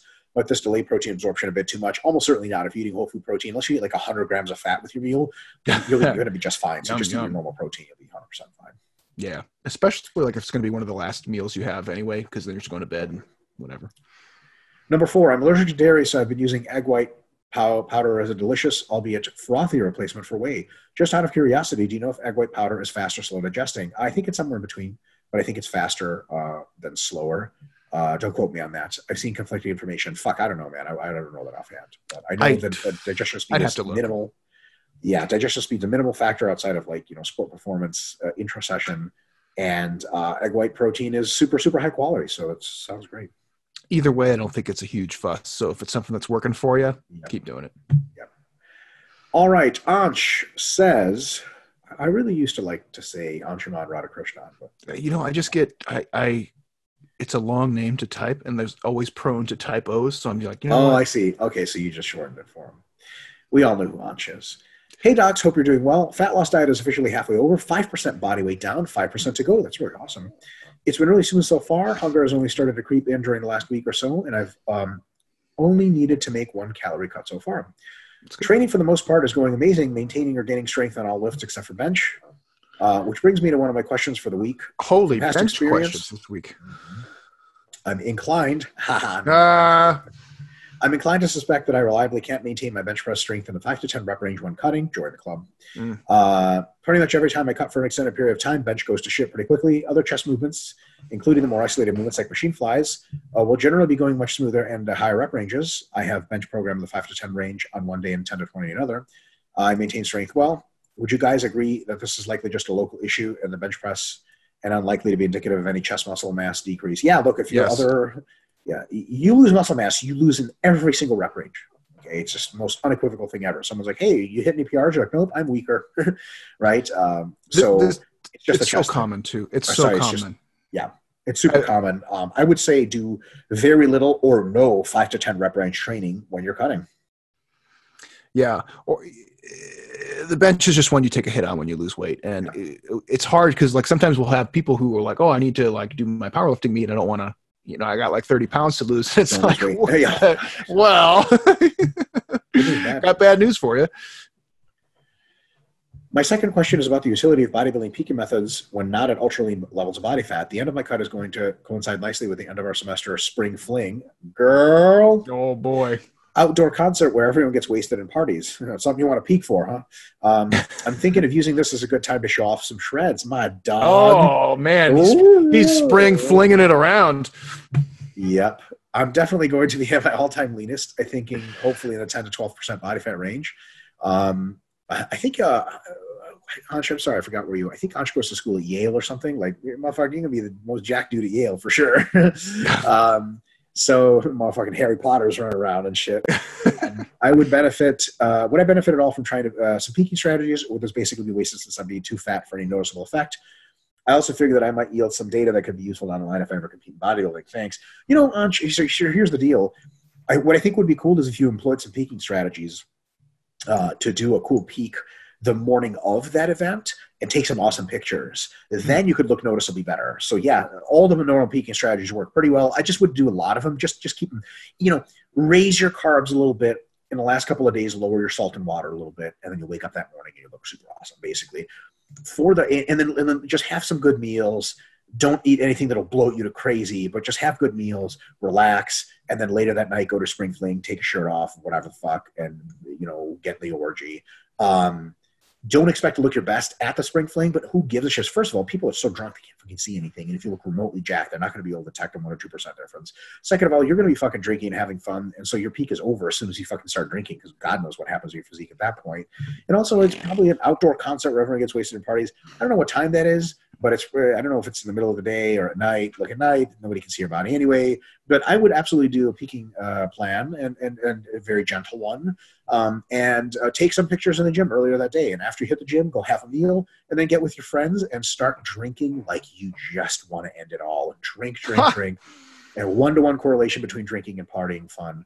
So there's no such thing as too much alcohol. That was all a joke, by the way, folks. But yeah, have fun with your friends and um, just don't stab anybody in the throat like you did at the last intergalactic party. Intergalactic. Uh, yeah, I think I'm all for uh, doing trial runs for things that you might want to do serious runs of later. So if you are thinking about ever competing in bodybuilding or any physique sports and you want to practice doing some of these peaking protocols, it's a perfect opportunity to do that. So I would I would say like if you're not thinking about competing, then it might just be like an over overly complicated use of your time. But if you are, it's definitely a, a great time to trial and error a few things and see how it goes. Or at least gain what we would call competitive experience. Like so you're Yep. you're at least like kind of in the game, you know what it feels like to do some of these things, even if it doesn't go great. Like yeah, just know what it feels like. Cole Dano says, Hey, my non medical doctor friends, a couple of strength related questions. Noise. My understanding with strength training is that you want to leave a little overhead and not actually reach MR, a MRV. Say after a mass cycle, you found you could do 10 sets of chest before hitting MRV. Is there a rule of thumb you can uh, use to translate to strength training? In other words, if I did 10 sets of chest in a mass cycle, would five sets be a good amount of strength work? You really can't tell until you try, but uh, you usually think something like two thirds uh, is usually set per set what your strength MRV is versus your uh, hypertrophy MRV. Yeah, and, and so just to kind of tidy that up, it's not so much that you don't reach an MRV, it's just that your strength MRV is significantly less Lower. than your uh, hypertrophy. So I would say for kind of general strength, like, you know, roughly four to eight reps, two thirds is probably a good starting place, and then adjust from there. For maximal strength, it's probably more like 50%, maybe even less. Yeah. Uh, if so, how dependent is it on rep range? Um, so five to seven uh, reps uh, versus three to five versus one to three. Yeah, just so basically, five to seven reps, it's going to be very similar MRV. Uh, maybe ninety percent of what you usually do. Uh, three to five reps, it's going to be like sixty-six percent, and then one to three, it's going to be like fifty percent as far as sets are concerned. Uh, maybe even lower. Yeah. And those are just guesstimates based on our experience. It's not Yeah. like a hard, hard rule. Yeah. Uh, Chad Wesley Smith is someone you might want to look into for more particular answers on that. He's kept track a lot of that for a lot of his athletes. And then he says, drop sets for strength work, question mark. Say you're doing five sets in the five to seven rep range, but set four, you only hit four reps. Is taking weight off the bar for the next set an effective strategy? No, because you're No. training force production, you don't want to reduce force. You're not basically saying, I'm still going to train the same volume, but reduce force. That's literally backwards. Um, you would do that for hypertrophy, not for strength. Or is it better to just stop training for the day and plan on only doing four sets next week? Yeah, probably. um, Or- reevaluate your fatigue. or like uh it, it- it's not a terrible idea to just add a set and even if it's you know a little bit outside of the rep range like Totally. Yeah it's not the end of the world especially if you do know like you have a, a- definite have like a volume quota for your strength work that you're trying to hit Yeah. then you, what i would do is if if that's the case then just you would use if you wanted to be in the five to seven rep range and you got like six five four that just means you started a little too heavy you know Yep. and then you would adjust Yep. A quick progress report. I took your advice and started a maintenance strength block uh, early last December in a strength cycle, like you say. It took the first meso to get the feel back, but the following mesos went great. And even after losing 12 kilograms in the previous cut, my strength has actually gone up. Wow. And I had some great PRs. yes After the diet, I've only put on 1.5 kilos, and eating a maintenance at this weight feels just right. My original plan was to do another cut starting about now, but due to some knee issues, I don't think a cut is a good idea. So I'll go into a mass phase, work on getting some more muscle on my legs. I couldn't be happier with the progress, though, and I owe a big thanks to you guys. Thank you so much. Uh, by the way, Well hear done. James is working on something related to volume line or sport. This is awesome. Really looking forward to it. I got a little look at that rough draft, and I thought James James told me he was like, playing around with some ideas. Turns out, motherfucker had written like sixty pages already. So I was like, holy shit, uh, it's a hell of a rough draft. Um, it's going to be a fucking awesome book, and I will be the core editor for it. James is going to be the lead author, and we've got some other uh, fine folks working on it. It's going to be an awesome book, if I may say so myself. thank you very much i'm excited yeah so we're going to tackle all sorts of issues like that Super. All right, a very unusual but very fun question from Cole Ishikawa, and then we get to uh, our YouTube content real quick. So, Cole says, Hey, Doc's not a training question, but what is the proper gym etiquette while waiting for a piece of equipment? Should I stand really close, ask how many sets left, try to work in? Try not to be a dick, but also try not to wait while bro does five exercise superset. yeah, the Uh, superset is is definitely bad etiquette when it's clear that the gym is relatively Yeah, for sure. Or like the five superset bullshit. Um, and then he says, uh, we'll get the joke out of the way now. Also, reverse pyramid training thoughts. I'm kidding. Thanks as always. Oh my god! Um, all right. So there's a, I have a modus operandi. I'll share mine and James will share his and we'll see where we stand. James is like, I just punched the dude in the throat. Watch. Um, so uh, what I do is I never talk to anyone during their set. Um, I had a gentleman ask me if I was using a certain piece of equipment while I was curling, so just didn't say anything back because I was curling, and he was like, he's he was like, was like puta or something like that, and then he like walked off with a with a bench. And you know, since I'm like geared up to shit uh, and hadn't done jiu-jitsu in a few days, I was like, God, please help me not fucking end this motherfucker's career. But like, I didn't do anything, and I just, it just whatever. People are crazy. So, so first of all, don't ask people anything during the set. Okay, only after the set. Not if they really look like the resting is good. Like right after the set, just like, hey, how many sets do you have? You know, give people the breathing room, right? Um, and just be like, hey, um, how many sets do you have? Okay, if they say one or two sets, just wait. Okay, if they say like five sets, then you say, hey, do you mind if I work in? Okay, now they could say, I'd rather you didn't. And then, if, then you know, then you're not working in because you know civility is number one in modern society. Um, but if uh, they almost always say like, yeah, totally, you know, because if even if they're doing a superset, they're just gonna be like, well, I'm doing a superset, and be like, well, let me hit it when you're not hitting it. And you let me know when you need it, and I'll just jump the fuck off, right? Let's let's work in. Um, if it's somebody, and so this handles 99% of all cases. Sometimes somebody will say, hey, listen, like, um, you know, I'm doing a superset and then it's clearly just not using it. And then they tell you every time they don't want to work in. It's something you'd be like, hey, man, like, I noticed you're usually just not using this, man. Like, I really, I'll move right out of your way when you need it. But is, is it okay if I work in with you? If they still say no, I'm just go up to the gym staff and just report the fuck out of them. Uh, and, and then somebody's going to come up and talk to them. And they might get pissed at you and say, what the fuck, bro? And you say, hey, listen, I'm just trying, just trying to work out like everybody else. And uh, this is kind of cool that packing a gun and or knowing martial arts is sweet because if they blow up to you, you'd be like, get the fuck out of my face. Otherwise, we're going to take this to the police. And as soon as you mention the police, most tough guys are like, oh, Jesus Christ, fuck that. But if they say, oh, police, really pussy, they'd be like, oh, sweet, come to balance, uh, sign a waiver, and I'll fucking rock you into a wall. Or in James's case, you just shoot him in the kneecaps 50 times and go to jail forever.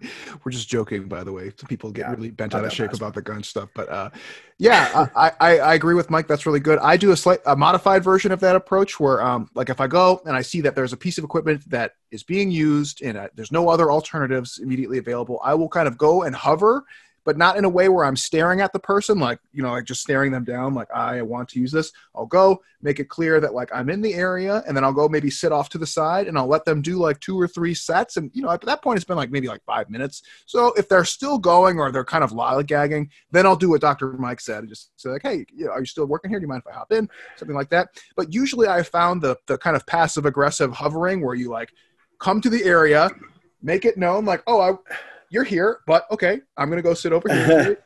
you're done, right? I'm not like looking at you. I'm not like posturing on you. I just like uh, it was clear that I wanted that, but I'm gonna I'm willing to wait. And if they don't say something to you, because most people will be like, "Oh, did you want to like work in or something like that?" And you go, "Yeah, great, okay, sweet." Um, so I'll sit off to the side, wait for a couple sets, and if there's if they're just doing the all day thing or if they're just texting on their phone, then I'll do the same procedure that Dr. Mike did. Just be like, "Hey, you mind if I work in?" And almost every time they'll say either, "I got one set left, you mind waiting?" or "Yeah, come on, let's work in." Yep. All right, to YouTube. Shall I throw this on? Go for it. Boom. Share. Screen share. Cool. Got it? Got Looking it. Looking good? Okay, sweet. Good. Oh, uh, back. Yeah, yeah just just one uh, thing. So SSD Abel, that's Abel Sci-Bi. Uh, I have fucking no idea how to say Abel's name, last name. Sorry, Abel he says uh, he was talking about Greg Doucette stuff when I went on a mini rant. He said, "I think Mike saw the wrong stuff from Greg Doucette.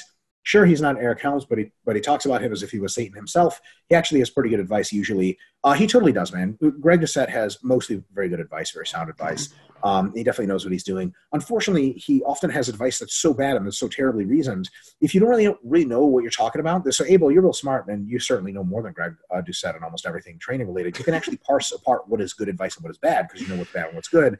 Like Most people don't know slide that. the neg in there, just like for sure. well, I mean it, right? so you know, for people who already know stuff, he's uh, first of all, you're really entertaining, and second of all, has plenty of good nuggets. And then when he says really dumb shit, you're like, ah, it's just Greg.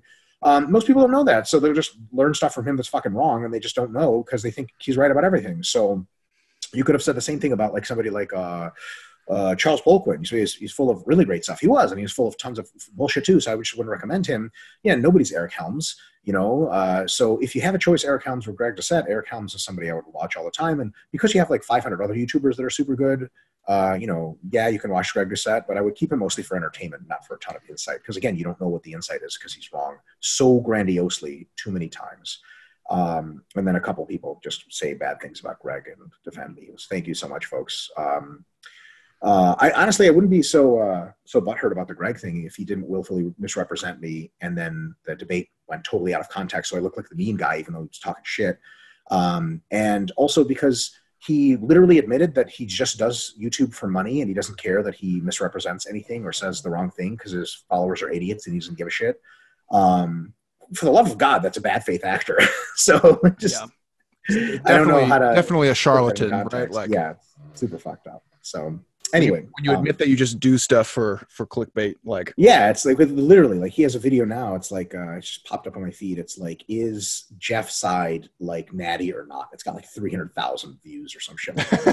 God It's damn it, like- Natty or yeah. not one's pissed me off so yeah, bad. and it's just like Fuck it's just the bottom of the fucking barrel. It's just pure speculation. It's like hilarious. And it's just smearing too. Yeah, It's it's like it's like saying like is so and so a Nazi? Like, well, you've already like painted a picture without even like you know just with the title alone. Yep. All right, first real question from Pico Rodriguez says, "I'm pretty jacked but not fit. How do I get above decent cardio uh, without losing my gains, or do I have to pick? I want to play soccer with my son and his team." Um, Patrick Barney already took a shot at the title here. James, what do you think? Super quick answer here for Pico. Uh, you don't have to pick. Like uh, the thing is, like if you uh, are already jacked, like you can just keep doing mostly what you're doing and adding a little bit of cardio, like two times a week, is not going to impact your gains in any like tangible way, unless your goal is to have like the biggest legs and calves on the planet. Um, so yeah, man, you can just pick up a little bit of cardio. It might make you a little more tired, so maybe scale down some of your weight training stuff. But most people can tolerate adding like two days of cardio, 20 to 30 minutes a pop, like mostly no big deal. So you probably don't have to pick one or the other. Do both. I'll also say lose some fat. You'll get fit real fast and you'll sacrifice nothing. A lot of times people carrying 10, 15 pounds extra fat, if they dump it, they can play soccer way, way better. Totally true. Okie dokie. Ooh, this is a good question. Matthew Pearsall says, I am unsure how to track foods where the macros and calories don't align due to fiber and sugar. Alcohol is the net carb problem. Do I count all the carbs or just some of them? Thanks for your help. Love the webinars. There's actually a very simple answer to this. Uh, this is the most like straightforward way to do it, um, or rather than straightforward. This is the most uh, close to accurate way to do it. Uh, there's a couple other ways we can talk about. The first way is you count fiber as zero carbs, and you count sugar alcohols as half the carbs that they're listed at, because that's very close to how much they actually end up uh, costing you. Uh, now, there's two other options. One, you can count uh, all of them for zero, possible, or you can count uh, all of them for full, possible. Whichever method you pick for whatever mesocycle or macrocycle or really diet phase, like your entire cut, use the same method. Okay, because if you alter methods, you don't know what the fuck's going in your body. So I would say count fiber for zero and count sugar alcohols for half of what they are. Like if it's four grams of sugar alcohols, you count two grams of carbs. Um, but uh, whatever method you choose, stick to that one. James. Yeah, absolutely. So in the in the counting macros for diet situation, consistency is greater than accuracy. It doesn't have to be perfect as long as you do the same stuff. It's a wash over time. So you'll change if you're not losing weight, you bring stuff down. If you're not gaining weight, you bring stuff up. It doesn't matter how you did it as long as you do it consistently. Okay, this is uh, this is cool. Uh, super off topic, but we'll take a shot. Let's, uh, and make this. Our, let's let's just question. let's skip that one. Are you sure? Yeah, let's just. God, it's it full of so much wrong shit, though. I know. Uh, let's just leave it alone. Like we can. I know. Let's. You know. I've had enough. Uh, you, you, I'm sure you already saw. I had enough social media drama this week. for Can I give like a super super quick, and then we'll just drop it super just If just if you don't mind, I'd like to just let this one go. fuck. Sorry, Lorenzo, I know, it's I your know you fucking feel. lucky day. I know you feel passionate about Lee. I do too. But let's just let it go. Are you still there? Yes, Oh, sorry. You just like were perfectly still. I was like, Jesus. Did, did, did you freeze up?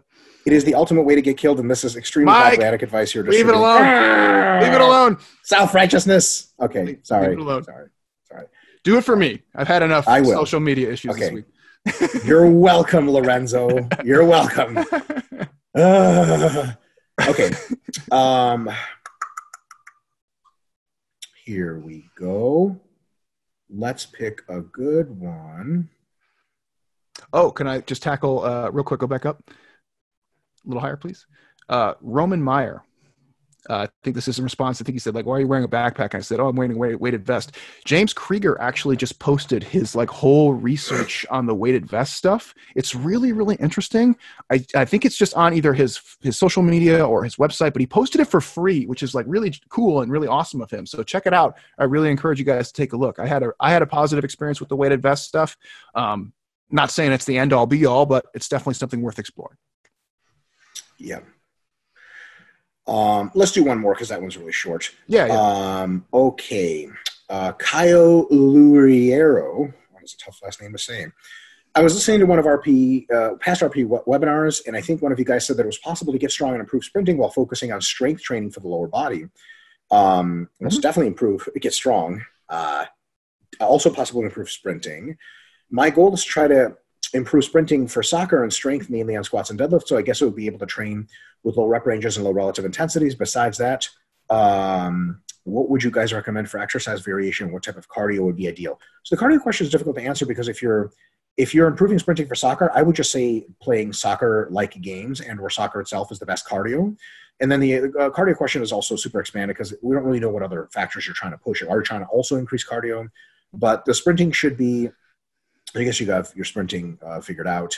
Uh, but exercise variations, I mean, uh, yeah, I mean, you could try some power movements and some loaded jumping as well. But generally speaking, you know, high bar squats, front squats, um, uh, leg presses where you dynamically move, and then uh, various pulls, uh, stiff legged deadlifts, good morning, stuff like that to train the hamstrings even more so than regular deadlifts are really good options for increasing sprint speed. That's where I would start, James.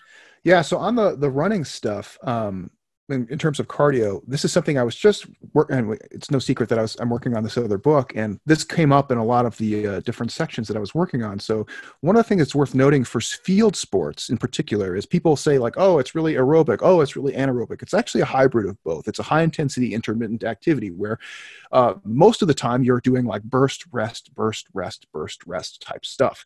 And so this is what causes a lot of confusion for strength conditioning coaches, where they're like, well, there's a burst, so you got to train the sprint, right? Like like yeah but but then there's the you have to keep doing it so then you have to be like really aerobically fit right yeah so like uh, the problem is that they tend to merge those two things together really what you want to do is separate those two energy systems in terms of like how you approach that type of training so for example when you do sprint training at least some, if not a large portion of it, is actually to get really fast at accelerating or changing direction, right? So for soccer, your average kind of sprint distance is going to be probably around 20 meters. I know rugby is 20 meters more often than not, so I'm guessing soccer's it's pretty similar, probably maybe 30 meters, 20 meters, something in there. It's not going to be like 60 meters, right? So it's going to be mostly stop and go type stuff. So you have to get really good at accelerating and decelerating. On the other hand, then you train the energy systems involved, which is kind of the more cardio component, where you're doing high intensity intermittent stuff. So you have like bursts, short rest, bursts. So some people will do like repeated sprint ability stuff where they'll do um, sprints with like 30 second rest and they'll look at the drop off in terms of time, stuff like that. That works really good. You can do high intensity interval training stuff with uh, kind of similar work to rest ratios that you see in soccer. Any of those things would be great. People just tend to conflate like the anaerobic running component and the more like um, high intensity intermittent running component. So you would want to treat those two things separately, is what I'm saying. And I think that's where a lot of people get messed up, where they're like, which one do I pick? It's like, well, you have a distinct day that you're meant to be fast and a distinct day where you're meant to try and go as hard as you yep. can for as long as you can. Yep. Yep. Big, big, big part is the distinction. Mix it all up, James. Fuck it. The salad bowl approach to training. Shit smoothie. You get a whole lot of nothing. Just get yeah. fit. Man, we did uh, um, two hours today. That was pretty good. Yeah, it was a doozy. Ooh, God, that Lorenzo Vrojic. I know. I you know what? Respectfully disagree. All good, my man. No worries. Uh, uh what was I gonna say? Oh yeah. So uh, housekeeping. That's it. That's it for this week, uh, guys. Next week, Mike and I are going to be on vacation, and normally when we travel, we're working. This is like one of the few times we get to travel and be on vacation. We might try and do a webinar while we're gone, but we also might try and just do vacation. So we yep. probably are going to have a week off, and then we'll get back in the following week onto our normal weekly schedule. So please keep posting questions in the yep. forums. We'll keep we'll keep doing that. Post them on YouTube too. When this comes out, post all your questions, and we'll answer it next time. Yep. So this was actually we had some really good, uh, again, good, good thought provoking yep. questions. If you guys enjoy our stuff, don't be afraid to uh, give it a like. I like we're pretty consistent on the YouTube videos where it's like we'll have like 60 likes and like one thumbs down. I'm like, who is oh somebody is subscribing and thumbs downing. Uh, so I've been told that Lyle McDonald thumbs down every video that uh, his various enemies are in. Um, Ah, he go. thumbed down every Revive Stronger video ever except for the one. you're gonna thumb you're gonna thumbs down Steve? Come on, man. oh, he actually called Steve and Pascal like cocksuckers and retards in an email. Like, Uh, yeah, Steve Hall, uh, uh, what a cocksucker! Is the, the, the, nicest person of all time. Well, you know, Lyle's one of the good guys, right? Yeah. Um, well, if you want to subscribe and give us a thumbs down, I understand, but I would prefer that you subscribe and give us a thumbs up. That's great.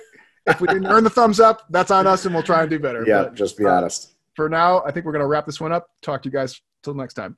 Peace.